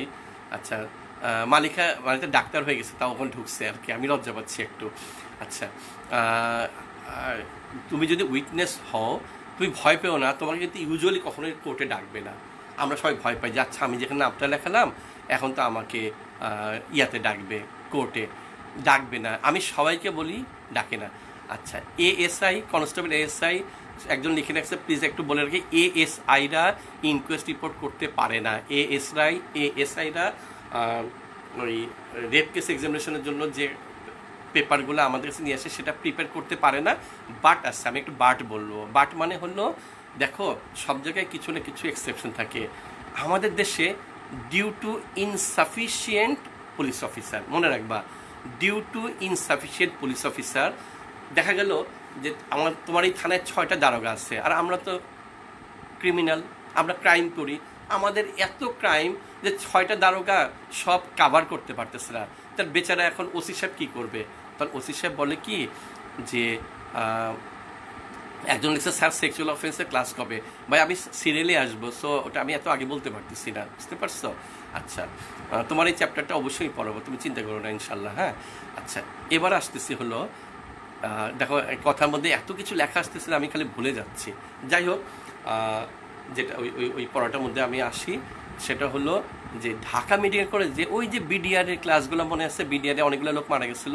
আমি তখন প্রায় বত্রিশটা তেত্রিশটা মনে নাই পোস্টমর্টেম করেছিলাম। তো তখন হয়েছে কি, খুব এতে কিন্তু এখন গল্প চলতেছে। এখন গল্প হ্যাঁ? আচ্ছা। আর ঢাকা মেডিকেলের যখন বিডিআরের ক্লাসগুলো এই বিডিআরে পোস্টমর্টম করি, সব তো জানো তো ডিকম্পোস্ট বডি ছিল, তাই না? কেউ কাউকে চিনতে পারতেছিল না। আমার আমার স্টুডেন্ট ছাত্রী, ডাক্তার, তার হাজব্যান্ড মারা গেছে, সে তাকে চিনে না। আমার স্টুডেন্ট ডাক্তার, তার বাবা মারা গেছে, সে তাকে চিনে না। এই অবস্থা। মানে ডিকম্পোজ বডি হলে তোমরা তো পোস্টমর্টম করছ, জানো। বডি একদম পচে যায় এবং ওটা দেখে কেউ চেনে চেনে আমরা সবাই কিন্তু ভাই, একটা কথা বলে রাখি এই যে তুমি যে এত সুন্দর দেখতে, আর তুমি কিন্তু যতই সুন্দর হও না কেন, তুমি জাস্ট মরে যাও, দুই দিন পর কিন্তু তোমার চেহারা কী হবে কল্পনা করতে পারবে না। তুমি ওরকম ডিকম্পোজ হয়ে যাবা, আমিও তোমাকে চিনবো না, তোমার বাবা মাও তোমাকে চিনবে না। আমরা মরে যাওয়ার পর সব বডি নষ্ট হয়ে যায়। পৃথিবীর মধ্যে সবচেয়ে সুন্দর মানুষটাও দুই দিন পর নষ্ট হয়ে যায়। তো যাই হোক, দেখ, মজার গল্পটা বলি। মানে এখন মজা, কিন্তু ওই ছেলেগুলোর জন্য মজা ছিল না। আমি দেখলাম যে আমরা তো কাউকে ঢুকতে দিচ্ছিলাম না ওই- সময় যখন ইনকোয়েস্ট হচ্ছিল। তখন দারোগা আমাকে বলতেছে যে, স্যার একটা কথা সেটা হলো যে এত এই যে এতগুলো ইনকোয়েস্ট করতেছি আমাদের তো এক একটা ইনকোয়েস্টে চার পাঁচজন করে উইটনেস লাগবে। তাহলে উইটনেস পাবো কোথায় এত? আপনারা তো কাউকে ঢুকতে দিচ্ছেন না। তা আমি আশেপাশে তাকায় দেখি কি কয়েকটা ছেলে আমি ওদের চিনি না। আসলে ওরা মিডিয়া কলেজের ফার্স্ট ইয়ার স্টুডেন্ট ছিল। আমি তো ফার্স্ট ইয়ার স্টুডেন্টকে চিনবো না, আমি তো ফরেন্সিক টিচার আমি ওদের ডেকে বললাম যে, ভাই, তোমরা কে বলো? স্যার, আমরা ঢাকা মেডিকেল কলেজের ফার্স্ট ইয়ারে পড়ি। আমরা শোনো, কিছু মনে করো না। এই আমরা তো এখানে ইনকোয়েস্ট করতেছি ইনকোয়েস্টে না ই থাকতে হয়। কি বলো ওর নাম? উইটনেস হতে হয়। তো কোনো অসুবিধা নেই। উইটনেস হলে কিছু হয় না। তোমরা জাস্ট তোমাদের নাম আর টেলিফোন নাম্বারটা দিবা আর অ্যাড্রেসটা দিবা। তো ওরা আমার কথা শুনে স্যার বলছে তো ওরা করছে কি ওইখানে? দে হ্যাভ বিকাম উইটনেস ভালো কথা। তারপর তো আমি পোস্টমর্টম করছি, অনেক, দুই, চার মাস পর বলে গেছি, ছয় মাস পর। আমাদের কিন্তু তিন, চার মাস পর আমাকে কয়েকটা ছেলে এসে বলতেছে, স্যার, আপনি জুবাই স্যার না? হ্যাঁ স্যার, আপনি না ওই যে পোস্টমর্টম করেছিলেন, তোমরা কি বিরক্ত হচ্ছে আমার গল্প শুনে? গল্পগুলো কিন্তু মজার। আচ্ছা স্যার ওই যে আপনি যে ই করেছিলেন পোস্টমর্টম করেছিলেন সেগুলো সম্বন্ধে একটু কথা বলি। স্যার, ওখানে আপনি আমাদের সাক্ষী হইতে বলছিলেন। আমি যে হ্যাঁ আমি বলেছিলাম। কেন? প্রবলেমটা কি? বলছি, স্যার, আমাদের এখন সিআইডি অফিস থেকে ডাকতেছে। আমি আহারে, আমি তখন বিপদে পড়ে গেলাম। বলছে, স্যার, ওনারা বলছে যে আপনারা যা সাক্ষী হয়েছেন আপনারা বলছেন যে হ্যাঁ আপনারা এই চিনেন যে এই ডেড বইটা মুখের। তা আসলে তো, স্যার, আমরা কিছু চিনি না। শুধু আপনি বলছেন দেখে সাক্ষী হয়েছিলাম স্যার, এখন আমাদের এমন অবস্থা, সিআইডি অফিসে যাইতে ভয় লাগে। এবং এখন আমাদের তো আইটেম আছে ফার্স্ট ইয়ারে স্যার আমার আইটেম আছে, আমি আইটেম থুয়ে স্যার সিআইডি অফিসে ডেলি ডেলি আমার এত খারাপ লাগা শুরু হয়েছে যে আমার জন্য বেচারারা বিপদে পড়ে গেছে। তা আমি এখন আমারও তো কিছু করার নাই। বললাম যে, ভাই, আসলে তো আমি তো তখন এটাকে খারাপ মনে করি নাই। এখন করবোটা কি? তোমাদের বলছি, এখন একটু কষ্ট করে বলছে, স্যার, আমি নিজের পকেটে পয়সা খরচ করে সিআইডি অফিসে যাই যাই বলতেছে হ্যাঁ আমি ইনকোয়েস্ট রিপোর্টে এটা আমার সাইন আমি দেখছি। যাক, এই কথা শোনার পর আমার মনে হয় আর জীবনে কিন্তু তোমরা কেউ ই হবা না। কি বলে ওর নাম? উইটনেস হবা না। এমনি হওয়ার কথা না, এখন তো আরও হবা না আমার এই গল্প শোনার পর। যাই হোক ইনকোয়েস্ট রিপোর্টে তাহলে বাম দিকে মানে ফার্স্ট পেজে লেফট সাইডে একটু ভাঁজ করে ওখানে ই থাকবে কয়েকজন তোমার এই যে উইটনেস থাকে। ভালো কথা। তারপর এই উইটনেস এই ইনকোয়েস্ট রিপোর্টটা আমি দেখি কখন পোস্টমর্টেম করার সময়। এরপর আসতেছে হলো পুলিশ ইনকোয়েস্ট কে করে তুমি নিজে শুনলে আশা করি এটা নিয়ে আর বেশি চিন্তা করতে হবে না। ম্যাজিস্ট্রেট ইস ইনকোয়েস্ট, রিটেন পরীক্ষায় খুব আসে। ম্যাজিস্ট্রেট ইনকোয়েস্ট পরীক্ষায় খুব জিজ্ঞেস করে। একজন ওপেন ভার্ডিক্ট বারবার জিজ্ঞেস করতেছে, বলে। আরে, ওপেন ভার্ডিক্টের সময় বলব, ওটা এখন না ভাই, পরে। হ্যাঁ আমি লাইনে, লাইন ধরে আসতেছি। আমি তো এখনও মানে ওয়ান পার্সেন্ট পড়ানো পড়াইতে পারি নাই, একদম প্রথমে আসছি আচ্ছা ম্যাজিস্ট্রেট ইনকোয়েস্ট যেখানে পুলিশ ইনভলভ থাকে, সেইখানে আমরা পুলিশকে দিয়ে ইনকোয়েস্ট রিপোর্ট করাই না। কেন করাবো? দেখো, তুমি একজন পুলিশ। তোমার থানাতে আর একটা পুলিশ আমাকে পিটাই মারছে। এখন তোমাকে যদি ইনকোয়েস্ট করতে বলা হয়, তাহলে তুমি কোনোদিনও লিখবা না যে এই ডেড বডিটাকে পিটাই মারছে। তুমি কি করবা? তুমি বলবা যে একে এটা এটা পড়ে যায় ব্যথা পেয়েছে, তারপর সে মারা গেছে। মানে তুমি চেষ্টা করবা হারটা পুলিশকে বাঁচাইতে, তাই না? আমি যা, আমরা ডাক্তাররা আরেকজন ডাক্তারকে বাঁচানোর চেষ্টা করি না। এই যে এই যে কত ডাক্তার ভুল হয় মারা যায়, তারপর দেখবা যে অনেকে চেষ্টা করে যে, না, এটা মানে যাই হোক, এটা নিয়ে আমি কথা বলতে চাই না। আসলেই তো চেষ্টা করে যে কি করে আরেকজন ডাক্তারকে বাঁচানো যায়। সবাই সবাইকে এরকম বাঁচানোর চেষ্টা করে। যে পুলিশ কে তুমি যদি ইনকোয়েস্ট করাও, যেটা police related case cross fire বলো death in the thana death in the jailkhana, তারপরে মিছিলের মধ্যে গুলি করছে, এগুলাতে আমরা কাকে দিয়ে করাই? আমরা এগুলা হলো সেই ইয়াকে কী বলুন নাম? ম্যাজিস্ট্রেটকে দিয়ে আমরা সাধারণত ইনকোয়েস্টটা করাই। তা the inquest which is usually prepared by a magistrate is called magistrate inquest খুবই সোজা জিনিস। পুলিশ ইনকোয়েস্ট করে ম্যাজিস্ট্রেট ইনকোয়েস্ট করে। পুলিশ ম্যাক্সিমাম ইনকোয়েস্ট করে। আর ইয়ারা কী বলুন নাম? সার্টেন কেসে ম্যাজিস্ট্রেট ইনকোয়েস্ট করে। আবার গল্পে চলে আসি। সেটা হলো থ্যাংক ইউ কেউ বলছে ইগনোর দোজ কমেন্টস হ্যাঁ আমি জানি প্লিজ তোমাদের যারা ভালো লাগতেছে না, তারা কুইট করো, অসুবিধা নেই। কারণ আমি কিন্তু এইভাবেই পড়াবো, এইভাবেই অনেক গল্প করব। তার সো হ্যাঁ মেন্টাল হসপিটালেও ওটা বইয়ে বলা আছে মেন্টাল হসপিটালে মারা গেলেও কিন্তু ই হয় ম্যাজিস্ট্রেট ইনকোয়েস্ট হয়। আর সব কথা তো বলতেছি না, তোমরা তো সব পারো। আমি জাস্ট একটু জিস্ট তোমাদের সাথে আলাপ করতেছি। আচ্ছা সেটা হলো দেখো, এক পড়া থেকে আরেক পড়া গেলে খুবই অসুবিধা হয়। আমি যখন সলিমুল্লাহ মিডিয়া কলেজে ছিলাম, একটু গল্প প্লিজ গল্পটা শুনে মজা লাগবে। আমি একটি স্টুডেন্টকে আইটেমে জিজ্ঞেস করলাম, বলো পুলিশ বাংলাদেশে কী ধরনের ইনকোয়েস্ট হয়? স্যার, বাংলাদেশে ইউজুয়ালি পুলিশ ইনকোয়েস্ট হয়। আচ্ছা বলো তো পুলিশ ইনকোয়েস্ট কে করে? Sir police inquest is done usually by a police officer not below the rank of a sub inspector very good very good আচ্ছা বলো তো ম্যাজিস্ট্রেট ইনকোয়েস্ট কাকে বলে, স্যার এই পুলিশ রিলেটেড এইসব কেসে পুলিশকে দিয়ে ইনকোয়েস্ট করানো হয় না। তখন এটা ম্যাজিস্ট্রেট ইনকোয়েস্ট করা হয়। আচ্ছা ভেরি গুড ভেরি গুড। আচ্ছা বলো তো, বাংলাদেশে কখন ম্যাজিস্ট্রেট ইনকোয়েস্ট করা হয়? স্যার, বাংলাদেশে ম্যাজিস্ট্রেট ইনকোয়েস্ট করা হয় না। এই যে স্যার গল্প বলে আমি খুব মজা পাচ্ছি। যেই বলে গল্প বলে আমি তখন খুব মজা পাই আসলে। স্যার, বাংলাদেশে ম্যাজিস্ট্রেট ইনকোয়েস্ট করা হয় না। বাংলাদেশে ম্যাজিস্ট্রেট ইনকোয়েস্ট করা হয় না। কি ইনকোয়েস্ট করা হয়? স্যার, বাংলাদেশে পুলিশ ইনকোয়েস্ট করা। ওকে বলো হোয়াট ইজ পুলিশ ইনকোয়েস্ট বলল, আবার বলে, বলো তো what is magistrate inquest sir, এই এই কেসে ম্যাজিস্ট্রেট ইনকোয়েস্ট করা হয়। আচ্ছা বলো তো ভাইয়া, বাংলাদেশে কখন ম্যাজিস্ট্রেট ইনকোয়েস্ট করা হয়? স্যার, বাংলাদেশে ম্যাজিস্ট্রেট ইনকোয়েস্ট করা হয় না। বলো তো, কেমন রাগ উঠে?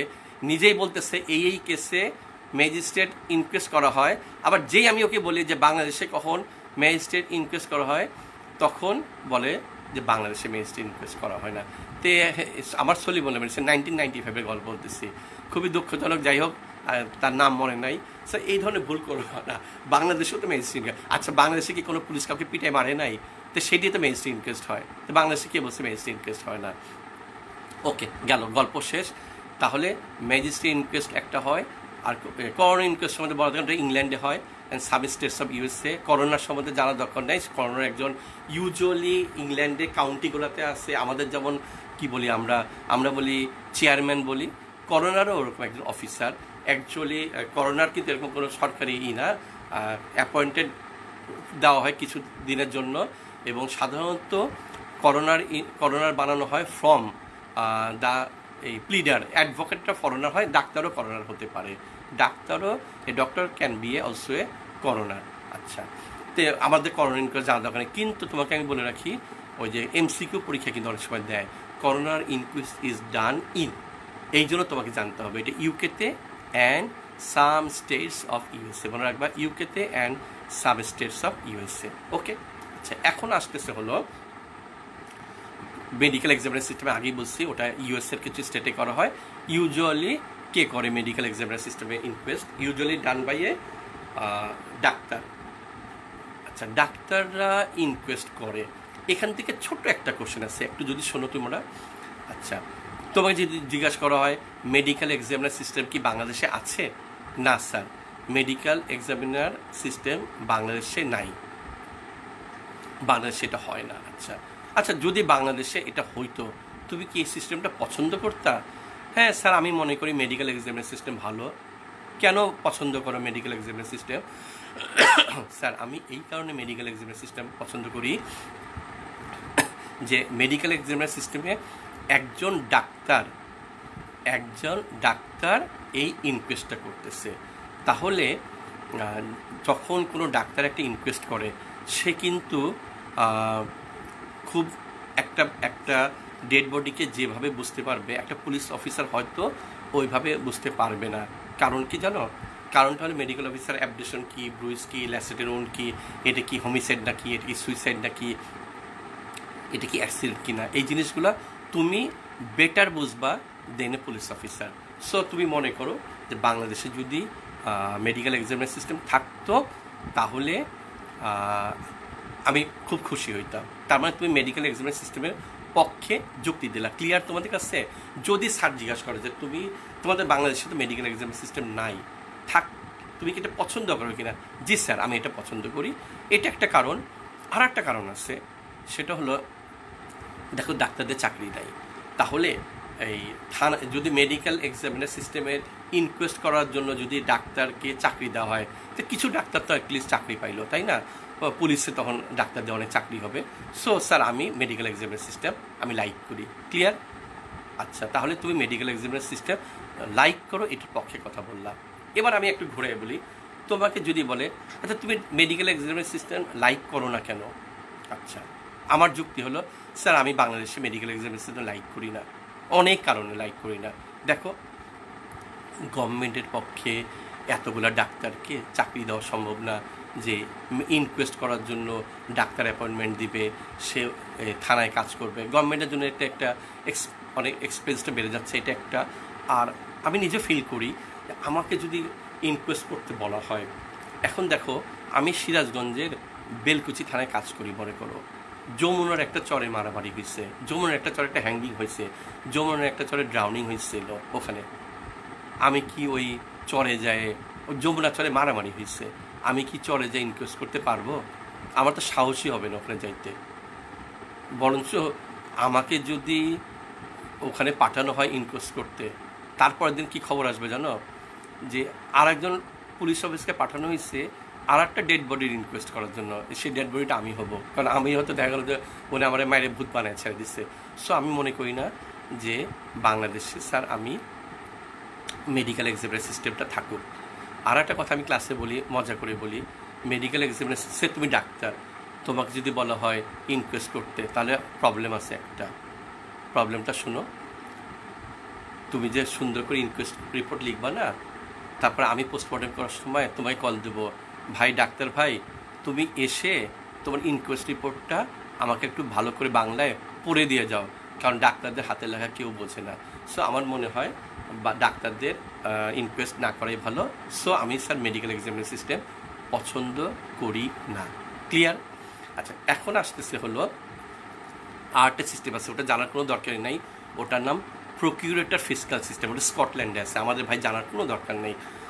অল্প কথা বলি, জেনে রাখো police inquest magistrate inquest police inquest magistrate দুটোই পরীক্ষার জন্য ইম্পর্টেন্ট দুটোই পরীক্ষা খুবই আসে। তাহলে তোমার ইনকোয়েস্ট চলে গেল।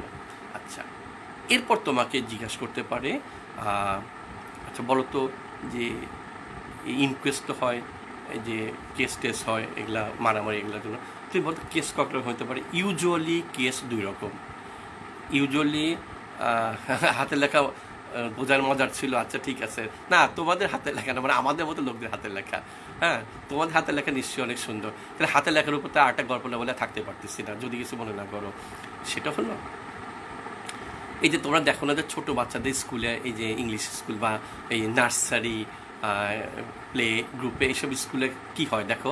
এসব স্কুলে টিচাররা খাতার উপর লিখে দেয় যে হোমওয়ার্ক এই করে আসতে হবে। মারা আবার ওগুলা পড়ে, বুঝতে পারছ? মারা ওগুলা পড়ে, তারপরে এই, ওই ছোটো বাচ্চাকে পড়ায়। কারণ হোমওয়ার্কগুলো বাচ্চারা বোঝে না মায়েরা সব মায়েরা এগুলা এই করে।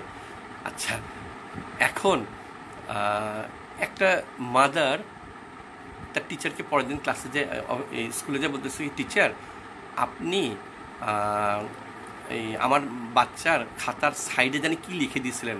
আমি ওটা পড়তে পারিনি। তো টিচার বলতেছে যে, আমি লিখে দিয়েছিলাম যে, এই বাচ্চাটা হাতের লেখা খুব খারাপ, সেইটা আমি লিখছিলাম।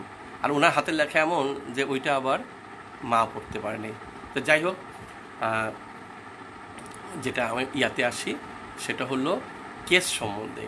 কেস দুরকম, সিভিল কেস এবং criminal case. Civil case, criminal case. কিন্তু একটা জিনিস মনে রাখা সিভিল কেস সম্বন্ধে বেশি জানার কোনো দরকার নেই। আমাদের ফরেন্সিক মেডিসিনে আমরা সিভিল কেস নিয়ে ডিল করি না। আমাদের কোনো দরকারই নেই সিভিল কেসের আমাদের দরকার হলো ক্রিমিনাল কেস। কারণ আমার কাজ হলো আমি অটোপসিতে যাই, মারামারি রিলেটেড ঘটনা দেখি। আমি কেন সিভিল কেস নিয়ে ডিল করব। Civil case dispute between two parties তোমার সাথে আরেকটা লোকের বাড়ির সীমানা নিয়ে। তুমি বলতে যাচ্ছ যে এই বাড়িতে ওই ব্যাটা থ্রি ফিট ভিতরে ঢুকে গেছে। ও বলতে যাচ্ছে যে ওই ব্যাটা আমার বাড়ির থ্রি ফিট ভিতরে ঢুকে গেছে। হ্যাঁ? হ্যাঁ আর এমসিতে এক্সটার্নাল আমি এবার আছি। একজন লিখছে আর এমসিতে আরে আমি আর এমসির লোক সবসময় যাই। আমি তো ফার্স্ট হাফ এক্সটার্নাল আছি। ওটা নিয়ে এখন আলাপ করো না ভাই। আচ্ছা। তো এখন এই যে তোমার জায়গা জমি নিয়ে প্রবলেম এইটাকে বলা হয় সিভিল কেস আর এই যে ওই প্রবলেমটার জন্য যদি দুইটা লোক ঘুষাঘুষি শুরু করে দেয় ইঞ্জুরি হয়, তাহলে হবে সেটা ক্রিমিনাল কেস আমরা ডিল করি we deal criminal cases not civil case তাহলে কেস হলো সিভিল কেস হতে পারে ক্রিমিনাল কেস হতে পারে আরও অনেক কেস হতে পারে। There is warrant case there is summon case there is warrant case and there is summon case এটা জিজ্ঞাসা করার সময়। আচ্ছা। ক্রিমিনাল কেস একজন যাচ্ছে ভাই ক্রিমিনাল কেস মারামারি একটা ক্রিমিনাল চুরি করা। একটা ছেলে আর একটা ছেলের কলম চুরি করছে। এই যে একটা ছোট্ট তিন টাকা দামের পেন চুরি করা, এটাও কিন্তু একটা ক্রিমিনাল কেস। মাথায় বাড়ি দেওয়া তো অবশ্যই ক্রিমিনাল কেস। কিন্তু এই যে সবচেয়ে ছোট হলো একটা কলম চুরি করছি this is also a criminal case তাই না? আচ্ছা সিভিল কেস তুমি জানলাই। আচ্ছা এখন এখন আসতেছে হলো যেটা বলতেছিলাম তোমার warrant case and summon case usually warrant কেসগুলো হলো what the punishment is more than one year কোনো কোনো বই লেখছে warrant punishment is more than two year তার মানে সমন কেস হলো ছোটোগুলা ওয়ারেন্ট কেসগুলো একটু বড় কেস দেখো, থানায় thousands of cases are there সব সব কেসে কি লাইফ লং ইমপ্রিজনমেন্ট হয়? সব কেসে কি ডেথ সেন্টেন্স হবে? কোনো কেসে একদিনের পানিশমেন্ট হয়। কোনো দেশে ওয়ান মান্থের পানিশমেন্ট হয়। কোনো কেসে অনলি থ্রি মান্থসের কেস হয় এই পানিশমেন্ট হয়। তাহলে যে কেসগুলোতে punishment is more than one year those are called warrant case যে কেসে punishment is less than one year সেগুলোকে আমরা বলি কি? সামান কেস এটা অনেক সময় স্যাররা জিজ্ঞেস করে সো এটা একটু ও হয়ে হ্যাঁ এখন আমি বলি, আমার অনেক দিনের এক্সপিরিয়েন্স এক্সপিরিয়েন্সটাকে আমি একটা কথা বলি। তোমাদেরকে যখনই জিজ্ঞাসা করা হয় what do you mean by summon case ভালো করে শুনে রাখো। তোমাদের ফিফটি পার্সেন্ট ছেলে কী করে জানো? বলে, একজন লেখছে যে, স্যার, আপনি ফেল করেন কিনা? এইসব উত্তর এখন দিব। কিন্তু আমার ছাত্র আমার স্যারদেরকে, আমার স্টুডেন্টকে ওটা জিজ্ঞেস করব, আমাকে জিজ্ঞেস করে গেলাম। আচ্ছা সেটা হলো আইডিয়া চুরি করা কি ক্রিমিনাল কেস আচ্ছা এটা আইডিয়া চুরি করা কি আমি ভাই বলতে পারব না? এটা হলো বড় বড় স্যার উত্তর দেবে। আমি তো ছোটোখাটো, স্যার। আমি আইডিয়া চুরি সম্বন্ধে কিছু বলতে পারব না আচ্ছা আমার কিন্তু ইন্টারাপশনে একটু প্রবলেম হচ্ছে, তারপরেও আমি বলে যাই। তোমরা যে ভুলটা করো, এটা একটু নোট ডাউন করে রাখো। তোমাকে যখন জিজ্ঞাসা করা হয় হোয়াট ইজ সামন কেস তুমি উত্তর দাও কি জানো? What is summon summon it is written order serve to witness to attend the court on a particular day time and place for giving evidence আরে, তোমাকে তো হোয়াট ইজ সামন জিজ্ঞাসা করা নাই। স্যার চোখ বন্ধ করে সব শুনবে। শোনার পরে বলবে, ওই বেটা তোলে কি আমি সমন জিজ্ঞাসা করছি না সমন কেস জিজ্ঞাসা করছি? সো প্লিজ স্যারের কোশ্চেনটা শোনার চেষ্টা করো। সামান অ্যান্ড সামান কেস ইজ নট সেম সামান হলো, আমি এখন যেটা বললাম, সেটা সামান। আর সামান কেস হলো, যে কেসে punishment less than one year clear এটা বুঝেছ কিনা? এটা খুব ইম্পর্টেন্ট এটা ভুল হয়। প্লিজ এটা একটু নোট ডাউন করে রাখো যে আমাকে যদি when I am us the question summon case I never answer what is summon. I will answer only what is summon case clear আচ্ছা। এছাড়াও আরও আছে police case complain case cognizable case non cognizable case আমি এখানে আবার একটু গল্প বলি অনেক সময়। সেটা হলো যে এই ইয়েটা, সেটা হলো যে, অনেক সময় স্যার খালি বলে কি জানো? স্যার আরও বলো আর কি কি কেস আছে? এটা আমি ক্লাসে মজা করে বলি। আর কি কি ক্লাসে কেস আছে? ক্লাসে আমি ওদের বলছি যে, স্যার, যখন কিছু পারব না বলে যে স্যার আরও কেস আছে স্যার শুট কেস আছে ব্রিফ কেস আছে। কারণ কিছু কিছু স্যার আছে, বুঝলা, থামে না। খালি বলে আর আর আর। তুমি আর এত আর পাবা কোথায়? তখন এগুলা তোমার অ্যান্সার চলে আসবে। সুট কেস ব্রিফ কেস অমুক কেস তমুক কেস যাই হোক, তোমাকে এখানে যে কোশ্চেনটা জিজ্ঞেস করবে, আর সেটা একটু বলে দিচ্ছি। সেটা হলো cognizable case non cognizable case এখান থেকে what is cognizable offence this is very very very very important what is cognizable case this is very very very very important খুবই ইম্পর্টেন্ট আচ্ছা সেটার নাম হলো Here, the police officer cannot arrest a person without warrant from the court. Cognizable case is that case where the police officer cannot arrest a person without warrant from the court. মনে very very important এবার আমি general তোমরা কিন্তু সবাই জানো যে আমরা Bangla cinema দেখি না, যে হঠাৎ করে পুলিশ এসে বলে, আপনার নামে ওয়ারেন্ট আছে, আপনাকে আমি ধরতে আসছি। তার মানে হলো সাধারণত ওয়ারেন্ট না থাকলে একজনকে ধরা যায় না। কিন্তু তোমাকে এবার আমি একটু গল্প বলি, সেটা হলো পৃথিবীতে সব কেসে যদি ওয়ারেন্ট লাগে মানুষকে ধরতে, আমি রাস্তা দিয়ে হেঁটে যাচ্ছি।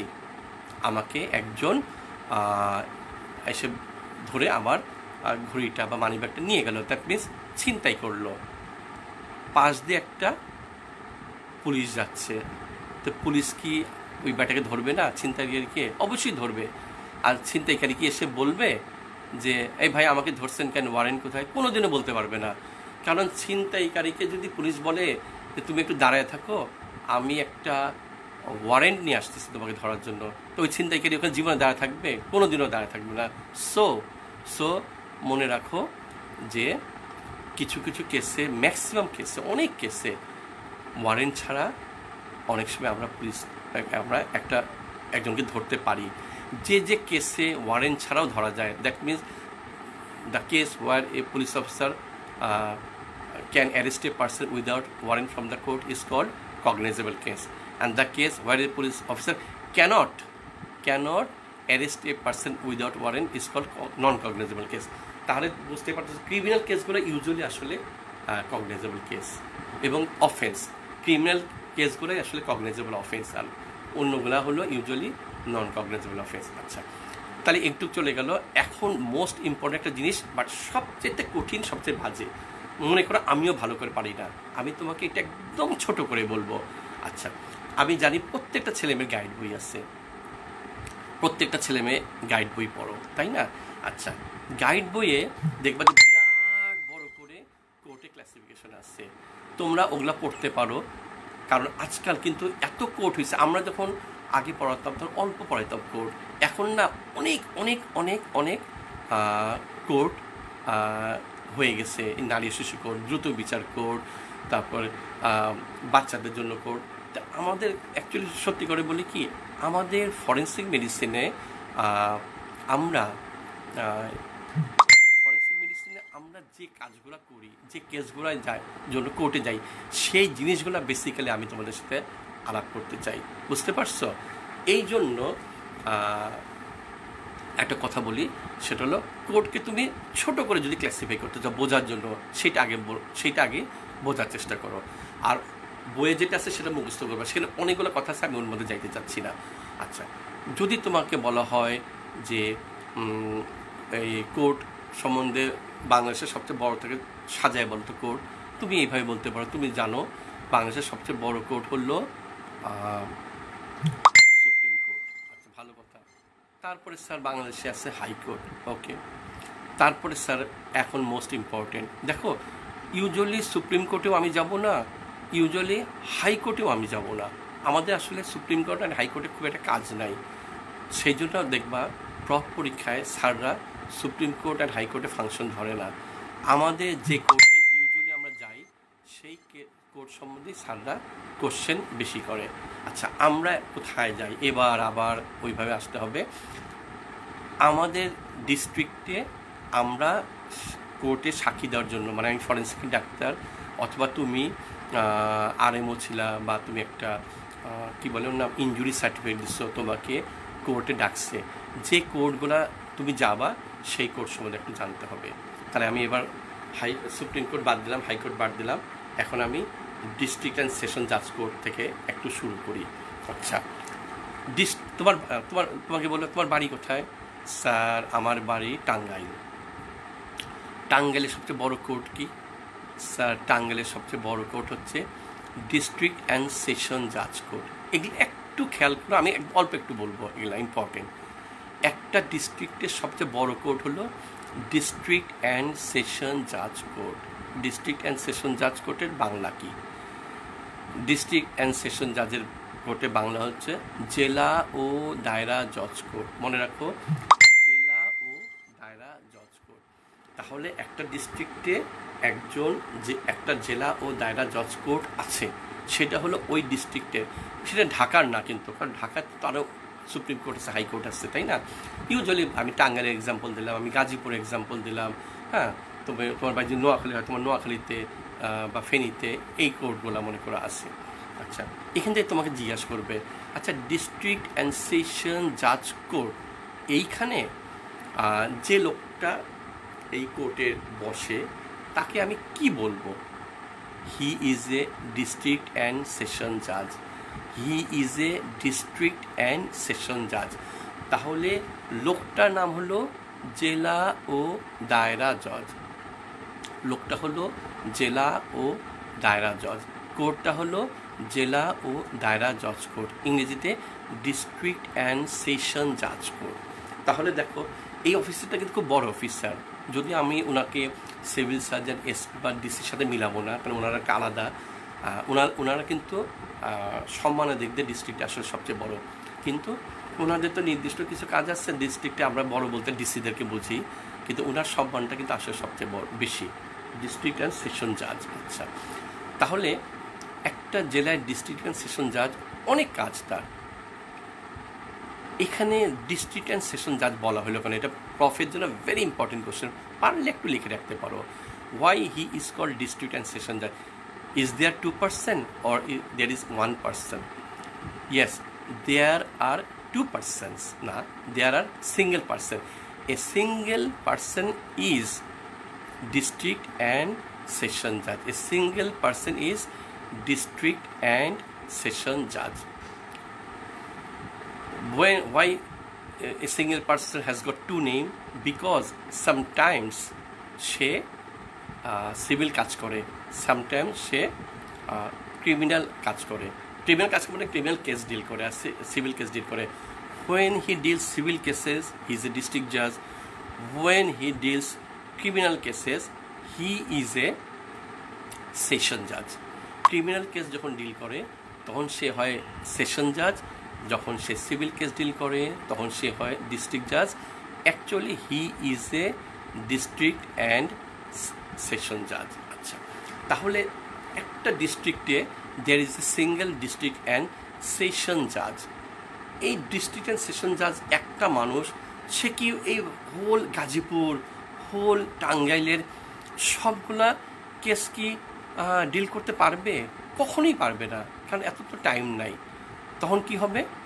তখন দেখা যায় যে ওই ডিস্ট্রিক্ট অ্যান্ড সেশন জাজের নিচে আন্ডারে there are some additional district and session জাজ ভেরি ইম্পর্টেন্ট এই ওয়ার্ডটা একটু মনে রেখো। There are some additional district and session জাজ বাংলায় আমরা বলি অতিরিক্ত জেলা ও দায়রা জজ আচ্ছা ইউজুয়ালি একটা ছোট ডিস্ট্রিক্টে there are three or four additional district session জাজ আর একটু বড় ডিস্ট্রিক্ট হলে five six additional district and session জাজ ঢাকাতে forty thirty five forty additional distance session অনেক ডিস্টেন্স সেশন বিকজ ঢাকা অনেক বড়। ঢাকাতে অনেক কাজ, সেই জন্য এখানে ডিস্ট্রিক্ট অ্যান্ড সেশন জাজ অনেক অনেক অনেক অনেক বেশি। ওকে আমি এগুলা নিয়ে সময় সময় নষ্ট করতেছি এই কারণে যে এই জিনিসগুলো বইয়ে তো ওইভাবে থাকে না হ্যাঁ? আমি অন্যখানে চলে যাব পরে পরে আর আমি এত কথা বলব না, কারণ লিগাল প্রসিডিওরটা আমরা একটু বেশি কথা বলি হ্যাঁ? এটা একটু দরকার আছে আসলে জানাটা। তোমার কাজে লাগবে যখন তুমি ডাক্তার হবা কোর্ট রিলেটেড জিনিসগুলো। তাহলে ডিস্ট্রিক্ট সেশন যাতে নিচে there are some additional district and session জাজ তোমাকে you will be asked in the examination what are the power and functions of district and session judge? Very very important, what are the power and functions of district and session জাজ সেটা হলো he can try any case এটা জিজ্ঞাসা করা হয়। হি can try try মানে চেষ্টা করা না ট্রাই মানে বিচার করা। He can try any case he can give any punishment authorized or supported by the law আর লাস্টে হলো he can give life long imprisonment and death sentence but the death sentence must be approved by the high court এই কথাটা একটু বারবার বলব পরীক্ষার জন্য very very important হ্যাঁ আমি অ্যাডিশনটা আবার বলব। একটু আগে আমি আর ডিস্ট্রিক্ট সেশন জাজে যাই। সেটা হলো ডিস্ট্রিক্ট অ্যান্ড সেশন জাজ he can try any case এর মানে কি জন্য সে যে কোনো বিচার করতে পারে। একটা ছোট, একটা বড়।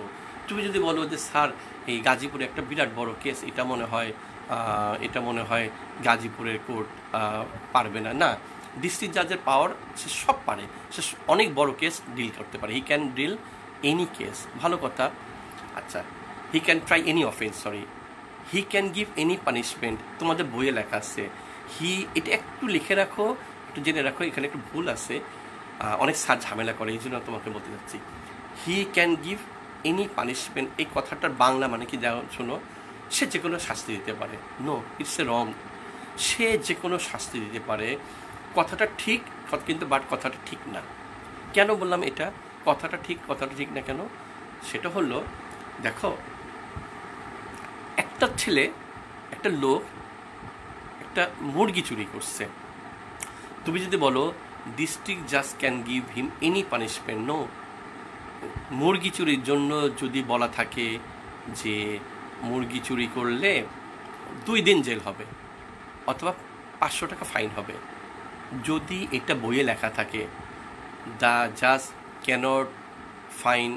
five zero one টাকা cannot give punishment for more than two days because ওই বলা আছে যে মুরগি চুরি করলে দুই দিন জেল মোরগ চুরি করলে তিন দিন জেল মনে করো তাহলে মোরগ চুরি করছে তোমাকে সাত দিন জেল দিতে পারবে না so So don't say he can give any punishment. Yes, authorized by the law. You must, Hurain Wani Oleg say, it must be authorized by the law. He, can, he can give any punishment authorized by the law. That means তাকে ল যতটুকু permit করছে তার মধ্যে থেকে সে he can give punishment আর থার্ডটা most important he can give life long imprisonment and death sentence he can give lifelong imprisonment and death sentence but the death sentence must be approved by the high court এই ওয়ার্ডটা খুবই important সে যাবজ্জীবন life long পায় যাবজ্জীবন কারাদণ্ড দিতে পারে and সে তোমাকে ডেথ সেন্টেন্স দিতে পারে but it must be approved by the high court high court থেকে অ্যাপ্রুভাল নিতেই হবে হাইকোর্ট যদি অ্যাপ্রুভাল না দেয় তাহলে হবে না এখন দ্য মোস্ট ইম্পর্টেন্ট question. তো you will be asked, who gives death sentence?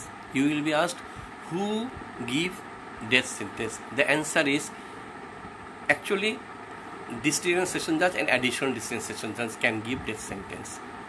তুমি যদি আর একটু অন্যভাবে বলো সেশন জাজ অ্যান্ড অ্যাডিশনাল সেশন জাজ ক্যান গিভ ডেথ সেন্টেন্স এটা একটু মনে রাখবা একদম প্রফের এই কোশ্চেনের জন্য এইটা অ্যান্সার না করতে পারলে, আমি যখন ঢাকা মেডিকেলে ছিলাম, আমার মিজানুল হক স্যার ছিল, তোমরা জানো, একজন স্যার ছিল, খুব রাগি টাইগার মিজান আমি I work with him for several years sir সাথে সাথে ফেল করে দিত। তোমাদের তো, তোমরা তো এখন লাকি যে তোমরা আবার অনেক কিছু না করলে আমরা পাস করে দিই। বাট অনেক আগে সে twenty years twenty five years fifteen years আগেও আমরা কিন্তু মানে অনেক কিছু না পারলে স্যাররা ফেল করে দিত। এখন তো আসলে আমরা খুব লিবারেল হয়ে গেছি। জাস্ট যদি বলো who gives death sentence high court বাস, তুমি ফেল সুপ্রিম কোর্ট তুমি fail so the answer will be this additional additional and session জাজ ক্যান session ডেথ sentence. যদিও ইয়েস টাইগার মিজান স্যার যদি স্যার মারা গেছে, তার প্রতি আমি শ্রদ্ধা রেখে বলতেছি। তাহলে তোমাকে যদি এরপর জিজ্ঞাসা করে what are the power and functions of additional ডিস্ট্রিগেশন জাজ same the power and functions of additional ডিস্ট্রিগেশন জাজ অ্যান্ড পাওয়ার অফ ডিস্ট্রিগেশন জাজ is same both of them has got same power just উনি অনেকটা একটা প্রিন্সিপালের মধ্যে প্রিন্সিপাল যদি এক- একজন থাকে একটু বড়, আর প্রফেসররা থাকে তার নিচে। অ্যাডিশনাল ডিস্ট্রিগেশন জাজ জাস্ট লাইক দ্যাট প্রফে সেই প্রফেসরদের মতো। বুঝতে পারছ? আর ডিস্ট্রিক্ট সেশন যা সেই প্রিন্সিপাল স্যারের মতো। আচ্ছা। তাহলে দেখো, এখানে যে জিনিসটা পাইলা most important who gives death sentence very very important district additional and session জাজ ক্যান গিভ অনেকে বলে যে অ্যাডিশনাল ডিস্ট্রিক্ট জাজ cannot give death sentence wrong আমি এই যে কোর্টে সাক্ষী দেই ম্যাক্সিমাম না ম্যাজিস্ট্রেট পারে না ম্যাক্সিমাম কেস আমরা কোর্টে যাই হলো অ্যাডিশনাল ডিস্ট্রিক্ট সেশন জাজ কোর্টে সেখানে বিচার হচ্ছে, তারা তো কই ডিস্ট্রিক্ট তারা তো দিচ্ছে, কী বলে ওর নাম? ডেথ সেন্টেন্স দিচ্ছে। সো পারে না, এটা বলবা না হ্যাঁ?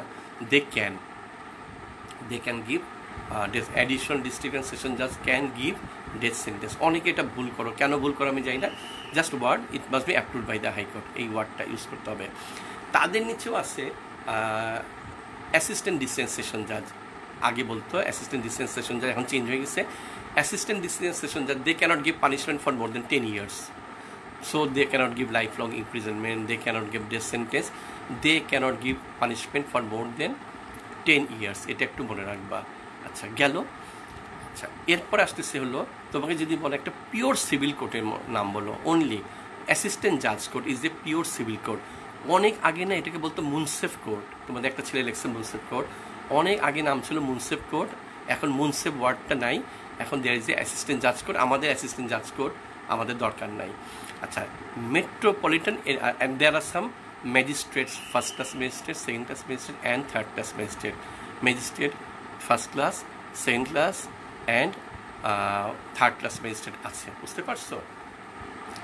এইটা তোমাদের, তোমার যে কী বলার নাম, তোমাদের গাইড বইয়ে যা আছে, সেটা পড়ে নিবা। দেখো, আমাদের মেইন বইয়ে এই জিনিসগুলো নাই, এগুলো সব গাইড বই আছে। মেবি গাইড বই যারা লিখছে, তারা কোর্টে গিয়ে হয়তো লয়ারদের কাছে শুনে আসছে যে ফার্স্ট ক্লাসের মানে এই বই এটা খুব চেঞ্জ হয়। এই জন্য আমি এটা নিয়ে কোনো কথা বলব না, তোমার গাইড বই পড়ে নিবা আর কি হ্যাঁ? খালি একটা জিনিস মনে রেখো, যেটা মেট্রোপলিটন সিটি সেইখানে metro the magistrates are call metropolitan magistrate যেটা সেখানে ওদেরকে আমরা বলি they are call metropolitan magistrate আর কি, এটা একটু মনে রেখো পাওয়ার অ্যান্ড ফাংশন ওরা একটা ফার্স্ট ক্লাস বেস্টের মতো। আচ্ছা একটা বলে সিএমএম বলে একটা ওয়ার্ড ছিল chief metropolitan magistrate chief metropolitan magistrate হ্যাঁ? Chief metropolitan magistrate they cannot give punishment for more than seven years এটা বইয়ে লেখা ছিল, এটা একটু দেখবা। আচ্ছা তোমাদের যে জিনিসটা দরকার, যেটা পরীক্ষায় ধরে, খুবই important what are the punishments given by the court of Bangladesh what are the punishments given by the court of Bangladesh তুমি যদি বড় থেকে বলো বা ছোট করে বলো, ছোট হলো ওয়ার্নিং সবচেয়ে ছোট। ওয়ার্নিংটা হলো সবচাইতে ছোট পানিশমেন্ট তারপর আর অনেক কিছু আছে। ফর ফিচার অফ প্রপার্টি আমরা বাংলা বলি সম্পত্তি বাজেয়াপ্ত করা। ফর ফিচার অফ প্রপার্টি আছে। ফাইন আছে। ফাইন মানে হলো তোমরা ফাইন করল যে এই আমরা বাংলাকে জরিমানা বলি, তাই না? এই তোমাকে পঞ্চাশ হাজার টাকা ফাইন করা হলো বা দুই লাখ টাকা ফাইন করা হইল। ফাইন মানে আবার সুন্দর ভাইবো না তোমাকে বলল যে তোমাকে ফাইন করা হয়েছে, তুমি খুব খুশি। বলল যে ভেরি গুড নিউজ আসলে তো তোমাকে ফাইন করছে আর কি হ্যাঁ? তো সো ফাইন একটা punishment forfeiture of properties বললামই তারপরে ওয়ার্নিং সবচেয়ে ছোট। তোমাকে ইমপ্রিজনমেন্ট দিতে পারে ইমপ্রিজনমেন্ট দুই রকম হয়। এই রিগোরাস নন রিগোরাস তোমাকে সশ্রম কারাদণ্ড বা বিনাশ্রম কারাদণ্ড দেবে। আচ্ছা hanging is not a punishment এটা একটু জেনে রাখো। Death sentence is the punishment তুমি একজন লিখে রাখছো হ্যাঙ্গিং অ্যাকচুয়ালি এইটা আমি বলব তোমাদেরকে। তোমরা অনেকে ভুল করো। তোমাদেরকে যখন বলা হয়, তুমি একটা পানিশমেন্টের নাম বলো তো? তুমি বলো হ্যাঙ্গিং হ্যাঙ্গিং তো কোনো পানিশমেন্ট না। আমি বাসায় যদি এখন এই ফ্যানের সাথে গলায় দড়ি দিয়ে আত্মহত্যা করি হ্যাঁ তো এইটা তো আমি, এটা তো আমাকে কোর্ট দিল না। কোর্ট কি কোর্ট আমাকে ডেথ সেন্টেন্স দিয়েছিল, সেই ডেথ সেন্টেন্সটা হ্যাঙ্গিংয়ের মাধ্যমে হয়েছে। তাও আবার হ্যাঙ্গিং বললে হবে না judicial hanging so hanging is not a punishment the punishment is called judicial punishment is called death sentence তাহলে সবচেয়ে বড় পানিশমেন্ট কি? ডেথ সেন্টেন্স তারপরে হলো life long imprisonment rigorous non rigorous তারপর অন্যান্য, সবচেয়ে ছোটো হলো ওয়ার্নিং আমরা ওয়ার্নিং দেয় আর কখনো এগুলো কাজ করব না। হ্যাঁ এটাকে ওয়ার্নিং বলা হয়। বুঝতে পারছ? আচ্ছা গেল। এরপর আসতেছে তোমাদের আমি একটা কথা প্রায় বলি যে একটা সময় ছিল আমাদের দেশে আমরা বাংলায় বলি যে, তোমরা তো গল্প বই পড়ো না, আমি ছোটোবেলায় গল্প বই পড়তাম। দ্বীপান্তর ছিল। দ্বীপান্তর মানটা কি? যে, তোমাকে আন্দামান দ্বীপপুঞ্জে পাঠায় দিত আর কি। ট্রান্সপোর্টেশন এখন আসলে এগুলো খুব একটা নাই। ট্রান্সপোর্টেশন তোমাকে আন্দামান দ্বীপপুঞ্জে পাঠাবে, এই জিনিসগুলো এখন উঠে গেছে। বাট এই মানে কি বলব, আগে যখন ইন্ডিয়া, পাকিস্তান, বাংলাদেশ একসাথে ছিল, তখন কিন্তু এই ট্রান্সপোর্টেশনটা ছিল। আমি এটা নিয়ে আমি একটু মজার গল্প বলি, যে দেখো ট্রান্সপোর্ট আন্দামান দ্বীপপুঞ্জে আগে যাদেরকে পাঠানো হয়েছে সব ছিল চোর। এখন ওই চোরগুলা ওখানে থাকতে থাকতে থাকতে থাকতে থাকতে তারা স্কুলে গেছে, তাদের ছেলেমেয়েরা কলেজে গেছে, তারা শিক্ষিত হয়ে গেছে। এখন কিন্তু ওটা চর, চোরের জায়গা না। হ্যাঁ? এখন ওখানে মানুষ বেড়াইতেও যায়, অনেক সুন্দর। তো এখন যদি তোমাকে বলা হয় যে মারামারি করলে পানিশমেন্ট হিসেবে তোমাকে আন্দামান দ্বীপপুঞ্জে পাঠানো হবে, তাহলে তো সবাই মারামারি করবে। কারণ হ্যাঁ কালাপানি। কারণ তুমি পয়সা খরচ করে কালাপানি দ্বীপে যাওয়া দরকার কি? আমি তো মারামারি করলে দুটো ঘুষি মারলে যদি আমাকে এখন আন্দামান দ্বীপ পর্যন্ত পাঠায় সো এই জিনিসটা এখন নাই। দ্বীপান্তরটা ট্রান্সপোর্টেশন এখন নাই। আচ্ছা হুইপিং কিন্তু একটা সময় ছিল আমাদের দেশে, বেত মারত। এখন কিন্তু বেত মারাটা আসলে অনেক আগে উঠে গেছে। সো এগুলো তোমরা বলবা না। সো পরীক্ষার জন্য ভেরি ইম্পর্টেন্ট তোমাদের জিজ্ঞাসা করবে যে তোমাদেরকে পানিশমেন্ট সম্বন্ধে জিজ্ঞাসা করবে are the punishments given by the court of hanging is a wrong answer কেন hanging is a wrong answer hanging তো আমি আমি গলায় ধরে দিলাম ঘরে। এটা কি আমাকে পানিশমেন্ট হলো? এটা হবে it should be judicial hanging তোমাকে পানিশমেন্ট দেওয়া হয় ডেথ সেন্টেন্স বাংলাদেশে বাই জুডিশিয়াল হ্যাঙ্গিং এই কথাটা প্লিজ অ্যান্সার করবা হ্যাঁ? ওই যে একজন বলল ডিক্যাপিটেশন কি হ্যাঁ ডিক্যাপিটেশন গলা কেটে ফেলা। তোমরা জানো সৌদি আরবে কী করে? গলা কেটে ফেলে। তারপরে কোনো কোনো দেশে মনে করো তোমাকে ওই ইয়াতে বসায় দিল, কী বলল কারেন্টে বসায় দিল, গুলি করল। গ্যারোটিন ছিল এক সময়। পয়জন খাওয়া দিল। ও আচ্ছা আমরা অনেক সময় জিজ্ঞেস করি যে পয়জন খাওয়াইছে এবং মেরে ফেলা পানিশমেন্ট দিচ্ছে কাকে? তোমরা সবাই জানো সক্রেটিস তাই না? অনেক আগে সক্রেটিসকে পয়জনিংয়ের মাধ্যমে মৃত্যুদণ্ড দেওয়া হয়েছিল। সো কোনো কোনো স্যার জিজ্ঞেস করতে পারে, তুমি তো জানো কি না? সক্রেটিসকে গ্যাস চেম্বার বলতেছে অনেকে হ্যাঁ? আচ্ছা সক্রেটিসকে কিন্তু ই দেওয়া হয়েছিল ডেথ সেন্টেন্স দেওয়া হয়েছিল হেমলোক পয়জনের মাধ্যমে। এটা একটু মনে রেখো স্যার অনেক সময় জিজ্ঞাসা করতে পারে। আচ্ছা এরপরে তোমাকে জিজ্ঞাসা করবে, সমন কাকে বলে? হোয়াট ইজ সামান তোমরা সবাই এটা জানো। ইলেকট্রিন একজন আচ্ছা সমন ইজ এ রিটেন অর্ডার বলো, আগে sub to witness to attend the court on a particular day time and place for giving evidence এইটা একটু, এগুলো সব মুখস্থ করছে, আমি একটু বলি। আমাকে সমন দেওয়া হয়। কেন? দেখো, আমি নাইনটিন নাইনটি ফাইভ থেকে পোস্টমর্টম করতেছি। এখনও আমি দুই হাজার সাল, দুই হাজার এক সালের পোস্টমর্টমে সাক্ষী দিতে যাই তা আমি তো ছিলাম সলিমুল্লায়, Dhaka medical then Salimullah, Dhaka medical college then Faridpur, Chittagong, Rajshahi, Manikganj. তা আমাকে যে কোর্ট বুঝবে কেমন করে? বোর্ড, কোর্ট এখন কি করবে? আমাকে যে ডাকবে আর আমি বা বুঝব কেমন করে যে আগামীকাল আমার একটা সাক্ষী আছে? কোর্টে যেতে হবে। তাহলে আমাকে একটা পেপার তারা পাঠাবে। এই পেপারটার নাম হলো সামান। ভেরি ইম্পর্টেন্ট সাবান সম্বন্ধে তুমি মুখস্থ করছ, আমি জানি যে তুমি পারো, আমি একটু বলে রাখি। এটা আসলে একটা ডকুমেন্টে আমার নাম লেখা আছে, মনে করো, ডাক্তার মোহাম্মদ জুবাইদুর রহমান। ডেট লেখা আছে, আপনার অমুক তারিখে সাক্ষী। লেখা আছে, কোন কোর্টে সাক্ষী? অতিরিক্ত দ্বিতীয় দায়রা জজ কোর্টে। আচ্ছা কোথায়? ঢাকায়। ভালো কথা। কেস নাম্বার কি? ওই অমুক কেস নম্বরে ও, তারপরে লেখা আছে উল্টা দিকে আপনি কী বলেন আপনি সাক্ষী দিতে আসবেন। আপনি যদি সাক্ষী না দেন, তাহলে আপনার পাঁচশো টাকা ফাইন কোনোখানে লেখা আছে কোনোখানে লেখা আছে, আপনাকে পুলিশ ধরে নিয়ে আসবে। এগুলো আমরা খুব ভয় পাই যে এই যে কোর্টের, সমন পাইলে ভয় লাগে। সমন মানেই হলো তোমাকে কোর্টে যেতে হবে। ওই সমনের ডেফিনেশন বসে তুমি যদি সমনটাকে ই না করো, তাহলে কিন্তু তোমাকে গভর্নমেন্ট বা কোর্ট পানিশমেন্ট দিতে পারে। ওকে ভালো কথা। তাহলে আমি সমন পেয়ে আমি ওটা পড়ি, এটা আমি এইভাবে গল্প করি, দেখো, তুমি একজনকে লাইক করো, অথবা তোমাকে একজনকে লাইক করে। তুমি যাকে লাইক করো, তাকে যদি তুমি একটু মেসেজ না দাও যে, ভাই, তোমাকে আমি খুব পছন্দ করি। ও কি করে বুঝবে যে, তুমি তাকে পছন্দ করো? সমন জিনিসটা এরকম। তুমি যদি তার সাথে দেখা করতে চাও তুমি কি লিখবা? তোমার সাথে, ভাই, আমি এই সাতাশ তারিখে দেখা করব। আরে সাতাশ তারিখে দেখা করবা। কোন মাসের সাতাশ তারিখ?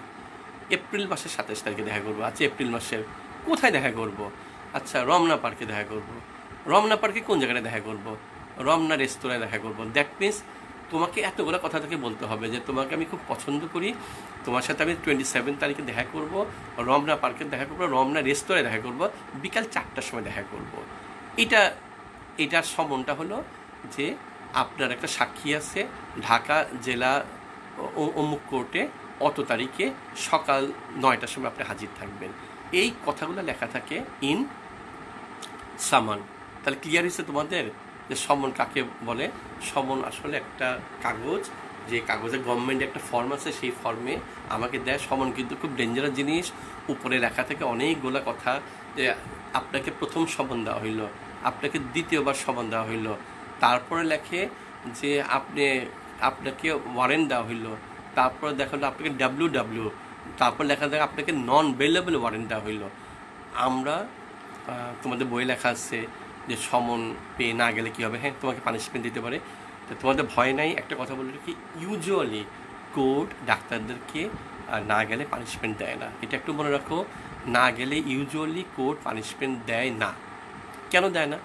দেয় না এই কারণে যে জানে যে ডাক্তারের অনেক কাজ, সে হাসপাতালে রুগী দেখতেছে, এই রুগী থুয়ে সে কোর্টে এসে সাক্ষী দেওয়া ইটস টু টাফ এই জন্য সাধারণত ডাক্তারকে পানিশমেন্ট দেয় না। কিন্তু এবার উল্টা কথা বলে রাখি। এই কথাটা শোনার পর তুমি যদি বলো যে জুবাই স্যার বলছিল, কোর্ট পানিশমেন্ট দেয় না। তাহলে তোমাকে পাঁচবার সমন দিতে যাও নাই। দশবার সমন দিতে যাও নাই। বিশবার সমন দিতে যাও নাই। তাহলে কোর্ট, কোর্টে তো প্রবলেম হচ্ছে। কোর্ট তোমাকে পানিশমেন্ট দিতে পারে না। এই জন্য এই জন্য সমন পাইলে আসলে যাওয়া উচিত। আচ্ছা বইয়ে কি লেখা আছে দেখো? ওগুলো সব পারো তোমরা। আচ্ছা আমি তো বুঝতেছি না, এগুলো তো তোমরা পারো তো মনে হয় না? ওই যে দুইটা সমন একসাথে আসলে কি করবা? বড় কোর্টে যাবা, দুইটাই যদি একই কোর্ট হয়, তাহলে আগে যে কোর্টে যাবা, আগে যে কোর্ট থেকে সমন পেয়েছে সেটা যাবে। এগুলো কি জানো তোমরা? দুজন একটু ইয়েস বললে আমি একটু বুঝব, যেগুলো আসলে তোমরা খুব ভালো মতো পারো। এটা খুবই সোজা। আমি সাতাশ তারিখে আমাকে ঢাকা থেকেও ডাকছে, আবার নরসিংদীতে ডাকছে। আমি কি দুই জায়গায় যেতে পারব? কোনো দিনও যেতে পারব না। তাহলে আমি দেখব কি জানো? যে হ্যাঁ পারো তোমরা। জি স্যার, বলছো, ঠিক আছে। তাহলে অবশ্যই আমি দেখব যে, ঢাকার কোর্টটা লেখা ছিল অ্যাডিশনাল ডিস্টেন্সেশন জাজ আর নরসিংদের কোর্টে লেখা আছে ডিস্ট্রিক্ট অ্যান্ড সেশন জাজ তুমি জানো ডিস্ট্রিক্ট অ্যান্ড সেশন জাজ বড়। তা তুমি তো বড়কে অনার করবা? তুমি ঢাকা ইম্পর্টেন্ট না, বড় is important higher is important so তুমি হায়ার কোর্টে চলে গেলা। আচ্ছা নিয়মটা কি? তাহলে যে তুমি যে ঢাকায় গেলা না, ও সে তাহলে কি ভাবলো যে এই ডাক্তার সাহেব আমার কথা শুনলো না? নিয়ম কি জানো? তুমি এই কোর্টে একটা চিঠি পাঠাবা। কেন তুমি এই কোর্টে যাও নাই? আমি স্যার এই কোর্টে যাইনি because I had another case in Narsingdi district and session জাজ কোর্ট ফর দ্যাট রিজন তাহলে কিন্তু তোমাকে কিছু বলবে না। কিন্তু তোমাকে আবার এটাও বলে রাখি আমরা কখনো এটা লিখি না যাই না আসলে লিখি না। আমরা জানাইও না যে আমি কেন আপনার কোর্টে গেলাম না। আমি এক বারবার বলতেছি আমাদেরকে ইউজুয়ালি কিছু বলে না। কিন্তু দেখো যদি কোনো জাজ একটু ডিফারেন্ট টাইপের হয় সে যদি মনে করে যে তোমাকে পানিশমেন্ট দিবে তখন কিন্তু তুমি আর বাঁচবা না। ওই যে ওই যে একশো দিন চুরি করে একদিন ধরা খাইতে হবে। আমি আমি আহ, আমি সত্যি করবে, আমার এত কেস থাকে আর এত ক্লাস থাকে যে আমি অনেক কেস অ্যাভয়েড করছি, যাইনি। ভয়ও পাইছি। তারপর যখন অনেকদিন পর্যায়ে খুব ভয় লাগে, মনে যে আজকে মনে আমাকে ধরে স্যার বাইন্দে রাখবে। কিন্তু ইউজুয়ালি আমাদের কিছু বলে না। কিন্তু নিয়ম কিন্তু লেখা আছে। আপনাকে কেন ধরে আনা হবে না? তাও আবার ধরে না, বেঁধে কেন আনা হবে না? এসব কথা লেখা আছে ওখানে। আচ্ছা যাই হোক তাহলে তোমরা হায়ার কোর্টে যাবা, একই দিনে যদি দুইখানে থাকে। আর দুইটা কোর্ট যদি সেম থাকে মানে নরসিংদীও এবং ঢাকা কোর্ট সেম দুইটা ডিস্ট্রিক্ট আর দুইটা অ্যাডিশনাল তাহলে কি করবা? তাহলে তুমি যেটা আগে পাবা, সেইখানে যাবা। তুমি বলবা যে, স্যার, ওই কোর্ট আমাকে আগে মানে আবার ওই কথা বলি। তোমাকে একজন বলল যে, তোমাকে খুব পছন্দ করে। তুমি বলো যে sorry you are too late আমাকে, আমি আরেকজনকে কথা দিয়ে ফেলছি। তোমরা বলো না আমি ওকে কথা দিচ্ছি আগে। এই জন্য তোমাকে আর আমি মানে কিছু করতে পারলাম না ভাই। তো আমাদের একই অবস্থা যে, স্যার, ওই কোর্ট থেকে আমাকে আগে ডাকছে, সো আমি আপনার কোর্টে যেতে পারলাম না। এটা বলতে হয় যদি আমরা এগুলা ইউজুয়ালি বলি না। ক্লিয়ার আচ্ছা। আমি ক্লাসে একটু গল্প করি তোমাদেরকে একটু বলে দিচ্ছি। সেটা বিল করে দিবে। আচ্ছা। সেটা বলতেছি, সেটা হলো যে, সবচেয়ে চালাকি কি জানো? কেউ তো কোর্ট কিন্তু খবর রাখে না, তুমি কেন আসো না এত কেস বাংলাদেশে, lakh lakh case pending so তুমি না গেলে খুব একটা ঝামেলা হয় না। তো তুমি চালাকি করতে পারো। তুমি এই কোর্টকে বলবা যে, আমি ওই কোর্টে যাচ্ছি, আর ওই কোর্টকে বলবা যে, স্যার, আমি এই কোর্টে যাচ্ছি। আসলে তুমি কোনোখানে যাব না। কারণ কি জানো? বিলিভ মি কোর্টে যেতে ইচ্ছা হয় না। আমি তোমাকে বলতেছি, দুইটা জায়গা, থানা অ্যান্ড কোর্ট আমি টোয়েন্টি ফাইভ ইয়ার্স ধরে এই ডিপার্টমেন্টে আছি। I have done seven thousand and five hundred postmortem আমি হাজার হাজার পুলিশ দেখছি। আমার এখনও পুলিশ ভয় লাগে, আমার এখনও কোর্টে যেতে ইচ্ছা হয় না। তোমারও যেতে ইচ্ছা হবে না। এই জন্য ফরেন্সিক মেডিসিনে কেউ আসে না, এই জন্য কেউ ইঞ্জুরি সার্টিফিকেট দিতে চায় না। কারণ ওই জায়গাগুলো এটা তো গল্প করার সময় না, এই জায়গাগুলো একদম বিরক্তিকর জায়গা, খুবই বাজে জায়গা। মানে ওইখানে গেলে তোমাকে এত হ্যারাস করে, ওটা আর অন্য সময় বলব আমি। তো যাই হোক, সমন গেল। এরপরে এক- একটা ছোট্ট জিনিস খুব পরীক্ষায় ধরে। What is conduct money is the money offered or paid to a witness কিসের জন্য? For travelling expenses at the time of serving the summon in civil case only বই বলা আছে। ইন সিভিল কেস অনলি এটা একটু তোমাকে আমি explain করতে চাই। কন্ডাক্ট মানি জিনিসটা কি? কন্ডাক্ট মানি কেন সিভিল কেসে দেয় কন্ডাক্ট মানি কেন ক্রিমিনাল কেসে দেওয়া হয় না? জিনিসগুলো কিন্তু খুবই ইম্পর্টেন্ট আমি তো পোস্টমর্টেম করছি কোনো সিভিল কেসের ব্যাপারে আমি কোর্টে গেছি না। আমি কোর্টে গেছি ক্রিমিনাল কেসের জন্য। তা আমাকে কি কন্ট্যাক্ট মানি দিচ্ছেন আমাকে কন্ট্যাক্ট মানি দেয় নাই। তা আমি কি এই এখান থেকে যে রাজশাহী সাক্ষী দিতে যাব, আমি কি বিল করি নাই? আমি বিল করছি। তাহলে জিনিসগুলোকে একটু দরকার আছে, একটু বলে দিব যে ব্যাপারটা কি? যে স্যার আপনি বললেন, আপনি বিল করছেন, আবার বলেন কন্ট্যাক্ট মানি পাই না। ওই বিল আর কন্ট্যাক্ট মানি ইজ নট ওই বিল করা আর কন্ট্যাক্ট মানে টিএ বিল করা মানে ট্রাভেলিং বিল করা অ্যান্ড কন্ট্যাক্ট মানি ইজ এবার আমি একটু বুঝিয়ে বলি তোমাকে, সেটা হলো conduct money is the money offered or paid to witness at the time of serving the summon in civil case only একটু শুনো, সেটা হলো দুইটা পার্সন তোমার বাড়ির পাশে তুমি তুমি মাঝখানে বাড়ি, একটা লোকের বাড়ির ডান দিকে, একটা লোকের বাড়ির বাম দিকে। ওই দুইটা লোকের মধ্যে ঝগড়া হয়েছে মারামারি হয়েছে অনেক কিছু হয়েছে হ্যাঁ? তো এখন একজনা তোমাকে বলছে, ভাই ওই বেটা তো খুব বদমাইশ, ও আর আমার মারছিল, আপনি তো সব দেখছেন। আপনি কি সাক্ষী হবেন? বোঝার চেষ্টা করে একটু খুব সোজা। আপনি সাক্ষী হবেন, আপনাকে আমি সাক্ষী মানলাম। অথবা ও আমাকে মারামারি করেনি ওর জায়গার আমার জায়গা নিয়ে ঝামেলা। মারামারি হয়নি, সিভিল কেস। ওর জায়গা আর আমার জায়গায় নিয়ে আমাদের গণ্ডগোল আপনি তো জানেন ভাই, আমি এই জায়গাটা জেনুইন জায়গা কিনছি। ও বেটা দুই নম্বরই করছে, দুই নম্বরই কাগজপত্র বানাইছে। আপনি প্লিজ আমার জন্য সাক্ষী দিবেন। ওকে আমি সাক্ষী দিব। আচ্ছা এখন তুমি বলো যে মিস্টার এক্স আর মিস্টার ওয়াই সিভিল কেস হইছে। মিস্টার এক্স জিতুক আর মিস্টার ওয়াই যেই জিতুক না কেন, তোমার কি কোনো লাভ আছে? তোমাকে কি ওই জমিটা দিবে? তোমাকে ওখান থেকে দুই ছটা জমি দিয়ে বলবে যে, ভাই, আপনি সাক্ষী দিছিলেন, আমাকে আপনাকে একটু জমি দিব, আপনাকে কোনো দিনও দিবে না তাহলে তোমার তো অনেক কাজ আছে। তুমি কেন ওর- ওর জন্য ওই ইয়াতে যায়, কোর্টে যায় বসে থাকবা? তুমি বলো, তুমি কেন ওই লোকটার জন্য কোর্টে যায় বসে থাকবা? তো আমি যদি একটা রিক্সা পুলার হই, আমি একটা রিক্সাওয়ালা, তাহলে তো আমি তো ওই দিন কাজ করলে পাঁচশো টাকা আয় করতাম। তো ওই ব্যাটার জন্য আমি কোর্টে বসে থাকলে তো আমার- সংসার চলবে। আমি একজন ডাক্তার, আমি চেম্বারে বসে দুই হাজার টাকা পাই, পাঁচ হাজার টাকা পাই। তো ওর জন্য যদি আমি ওখানে যা বসে থাকি, আমার, আমাকে কে টাকা দিবে? সো আমি বলব যে আমা, আমি তোমার জন্য ওইখানে সাক্ষী দিতে যাব না। তাহলে কী করলে যাবেন আপনি? আমাকে কন্ডাক্ট মানি দিতে হবে, আমার যাতায়াত খরচ এবং ওই দিনের যে আমার লস হবে, সেই পেমেন্টটা যদি দাও, এবং this is legal this is legal তুমি ওকে বলবা যে আমাকে টাকা দেন।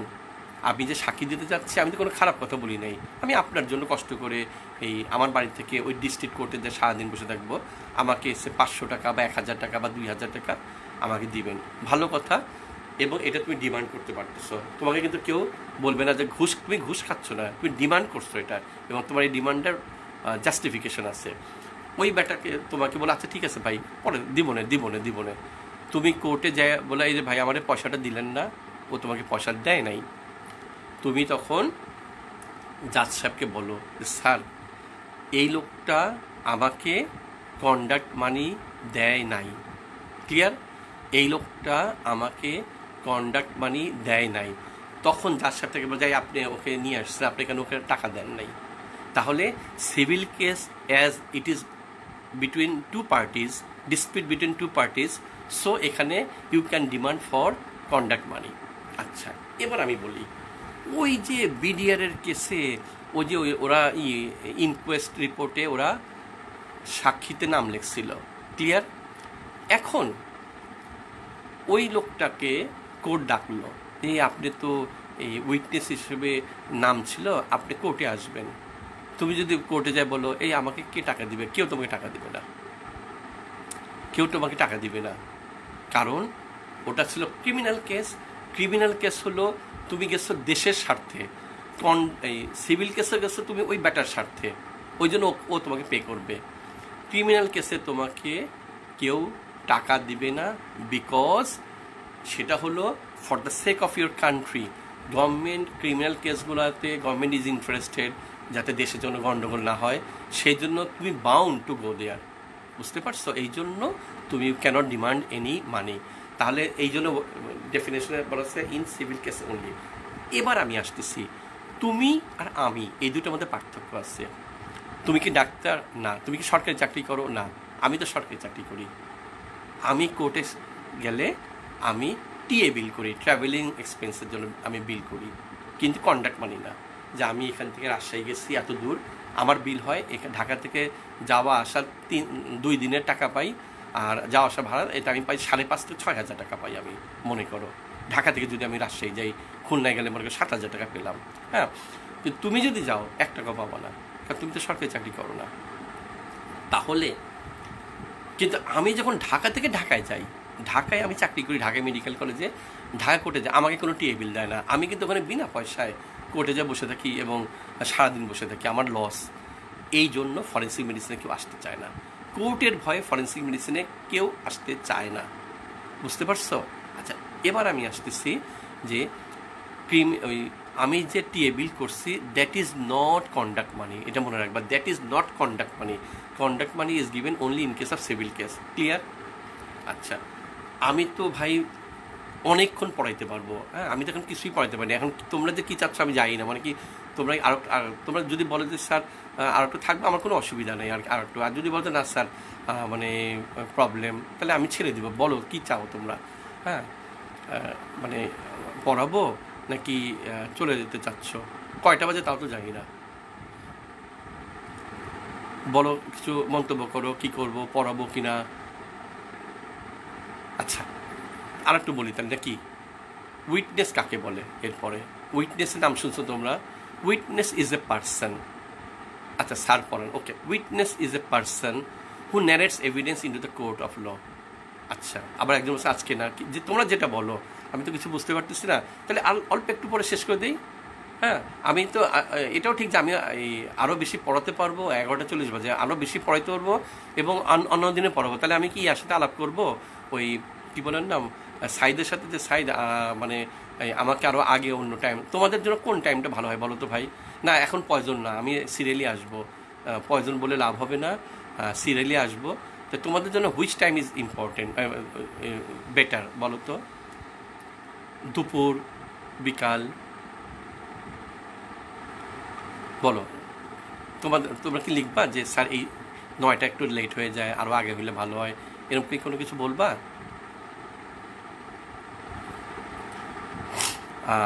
তাহলে কি আমি আর, আর- আর পনেরো মিনিট বলে শেষ করে দেবো আপাতত? কি বলব ফিফটিন মিনিটস নাকি? তোমাদেরকে চেয়ে নিলাম। ওকে খুব তাড়াতাড়ি শেষ করব এবার হ্যাঁ? ওকে এখন আমি আসতেছি আটটা। ওকে নো প্রবলেম আমি ওদেরকে বলব। আচ্ছা এখন আমি আসতেছি হলো উইটনেসেস যে তোমরা জানি person who hands evidence into the evening winners evidence into the court of law হ্যাঁ উইটনেসের মধ্যে খুবই সোজা এগুলো সব পারো, আর বেশি বলব না। There are some common witness there are some expert witness there hostile witness এই হোস্টাইল উইটনেস নিয়ে একটু ঝামেলা। হোস্টাইল উইটনেস আর পারজুরি নিয়ে খুব ঝামেলা হয়। ইট লুকস অলমোস্ট সেম আর কি হ্যাঁ? আচ্ছা কমন উইটনেস তুমি জানো, আমি দেখো, আমি doctor I am a common witness I am a মানে এক্সপার্ট উইটনেস আমি কমন উইটনেসও হতে পারি, আমি এক্সপার্ট উইটনেসও হতে পারি। কেন? শোনো আমি রাস্তায় দাঁড়িয়েছিলাম দেখলাম যে একটা লোক আটটা লাখের এখানে ঘুষি মারছে আমি বললাম, জি স্যার, আমি দেখছি ওর নাকে ঘুষি মারছে this is then I am a common witness but doctor হিসাবে ও আমার হাসপাতালে গেছে, আমি একটা ইনজুরি সার্টিফিকেট দিচ্ছি আমি একটা ইনজুরি সার্টিফিকেট দিচ্ছি দেন আই এম অ্যান আমি একটা এক্সপার্ট উইটনেস তাহলে আমি ওকে ঘুষি মারতে দেখছি, আমি একটা কমন উইটনেস আমি ওকে একটা ইঞ্জুরি সার্টিফিকেট দিচ্ছি I am a expert witness তোমাকে জিজ্ঞাসা করব ডাক্তার কী ধরনের witness doctor may be a common witness doctor may be a expert witness দুটোই হতে পারে হ্যাঁ?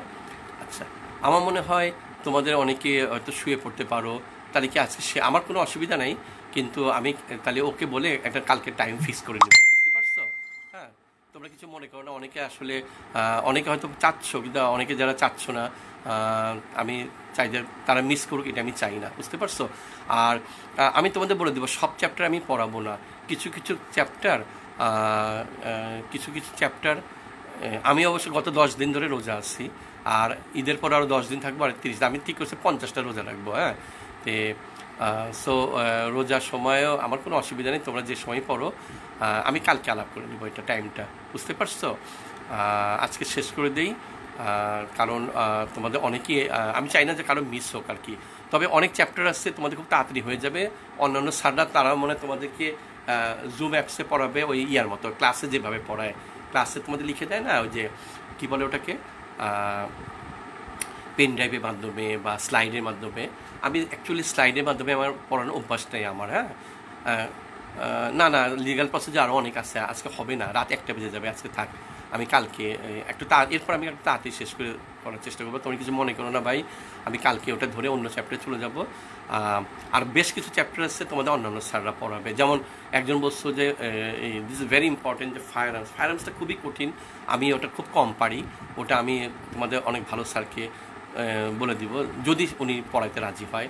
তারপরে মনে করো blood stain is very tough even forensic psychiatry is also very tough আর কি হ্যাঁ ইনফ্যান্টিসাইড এটা আমার even identification is also very tough এগুলা আমি চেষ্টা করব তোমাদের ইয়াদেরকে ভালো ভালো টিচারদেরকে বলব যে তারা যেন এগুলো পড়ায় দেয় আমি সোজা জিনিসগুলো একটু পড়াবো আমি তো পড়াই দেয় আর তোমার বুঝতেই পারছ, আমার পড়ানোর ধরনটা একটু ডিফারেন্ট আমি আসলে তোমাদের সাথে একটু গল্পের মাধ্যমে চেষ্টা করি। আর যদি তোমাদের ভালো লাগে, আমি ওইভাবেই চেষ্টা করব। কারণ আমার তুমি জানো যে আমি লং টোয়েন্টি ফাইভ ইয়ার্স পড়াইছি। ঢাকা অ্যান্ড সলিমুল্লে আমি সিক্সটিন ইয়ার্স পড়াইছি। ওরা আমার এই এইটাই পছন্দ করছে। সেই জন্য আমি এটাকেই পছন্দ করি। তোমার তোমাদের থ্যাংক ইউ আমার খুব ভালো লাগছে। আচ্ছা একটা কথা বলি। তোমাদেরকে আমি বলছি কিনা জানি না। একটা দুঃখের খবর দিয়ে তোমরা অবশ্যই দোয়া করবা। কারণ এটা একটু বলে দেই। সেটা হলো আজকে আমি নাইনটিন নাইনটি ফাইভে প্রথম আহ, সলিমুল্লাহ মেডিকেল কলেজে ফরেন্সিক মেডিসিনে ঢুকি মার্চ মাসে। সেখানে আমি ওখানকার এসএসএমসি এইটিন ব্যাচকে পাই। That is my first batch আমার ফার্স্ট ব্যাচের স্টুডেন্টরা এই যে তোমাদের, আমি জানি না সৌরদি মেডিকেলে কোনো স্টুডেন্ট কি আছো এখানে? সৌরদির যে ভাইস প্রিন্সিপাল ও কিন্তু আমার ফার্স্ট ব্যাচের স্টুডেন্ট হ্যাঁ সাদাত হোসেন রিপোর্ট। ওরা হলো আমার টেন ক্লাস জুনিয়র আমার দশ বছর জুনিয়র তো ওই ওই ব্যাচের যে ফার্স্ট বয় ছিল ওর নাম হলো ডাক্তার নাসিম, ডাক্তার সবদার খুব ভালো স্টুডেন্ট ও সলিমুল্লাহ থেকে first prof second prof third prof first হয়েছিল। খুব ভালো স্টুডেন্ট খুবই ভালো স্টুডেন্ট হ্যাঁ? আমার ফার্স্ট বয় আমার first batch first boy first first roll number first love বলতে পারো, সেই ছেলেটা আজকে মারা গেছে। কত দুঃখজনক। ও প্রত্যেকটা প্রভাবে ফার্স্ট হয়েছিল, কিন্তু ও ইয়াতে ফাইনাল ইয়ারে পরীক্ষা দিতে পারেনি, কারণ ওর ফাদার মারা গেছিল। ওর ফাদার জয়েন্ট সেক্রেটারি ছিল, ওর ওর দাদা ছিল এনএসআইয়ের বাংলাদেশের প্রথম ডিজি ইয়াতে সেভেন্টি টুতে ওর নাম সবদার সে আজকে মারা গেছে, তোমরা তার জন্য মনসুর ভাই আমার সবচেয়ে ঘনিষ্ঠ মানুষ হ্যাঁ। সে আমার সবচেয়ে ঘনিষ্ঠ মানুষ। আচ্ছা তো ও আজকে মারা গেছে। ওর কোলন ক্যান্সার হয়েছিল, ও দেড় মাস আগেই ওর একটা রিং পড়ানো হয়েছিল। ও চার পাঁচ দিন আগে জানতে পারছে যে ওর পেটে খারাপ লাগতেছে। ও পরীক্ষা করে দেখে কোলন ক্যান্সার, অ্যাডিনোকার্সিনোমা, সাথে সাথে আজকে অপারেশন, আজকে মারা গেছে। আমি আজকে ই দিছি, তোমরা অবশ্যই তার জন্য দোয়া করবা। এইটা একটু বলতেছি। আর একটা কথা বলে শেষ করে দিচ্ছি, সেটা হলো, তোমাদের অনেকে না তোমরা হয়তো জানো না যে অ্যাকচুয়ালি আমি প্রায় চার পাঁচ বছর আগেই আমার ফেসবুকে আমার স্টুডেন্ট প্রায় পাঁচ হাজার হয়ে গেছে।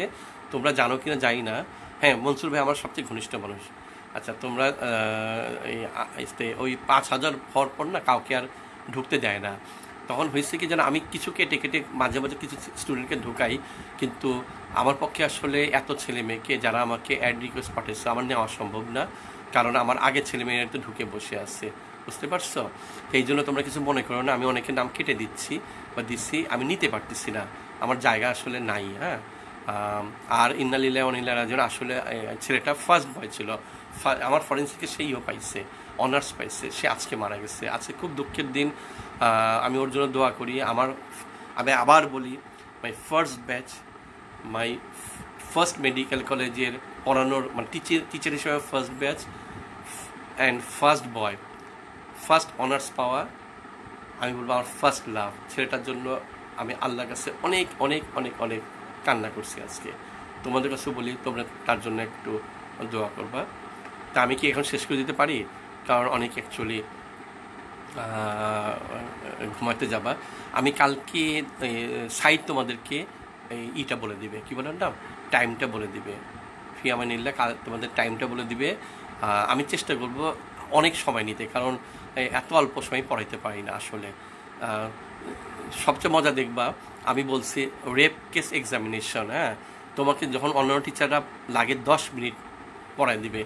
ওইটা আমারই লাগে প্রায় একদিন।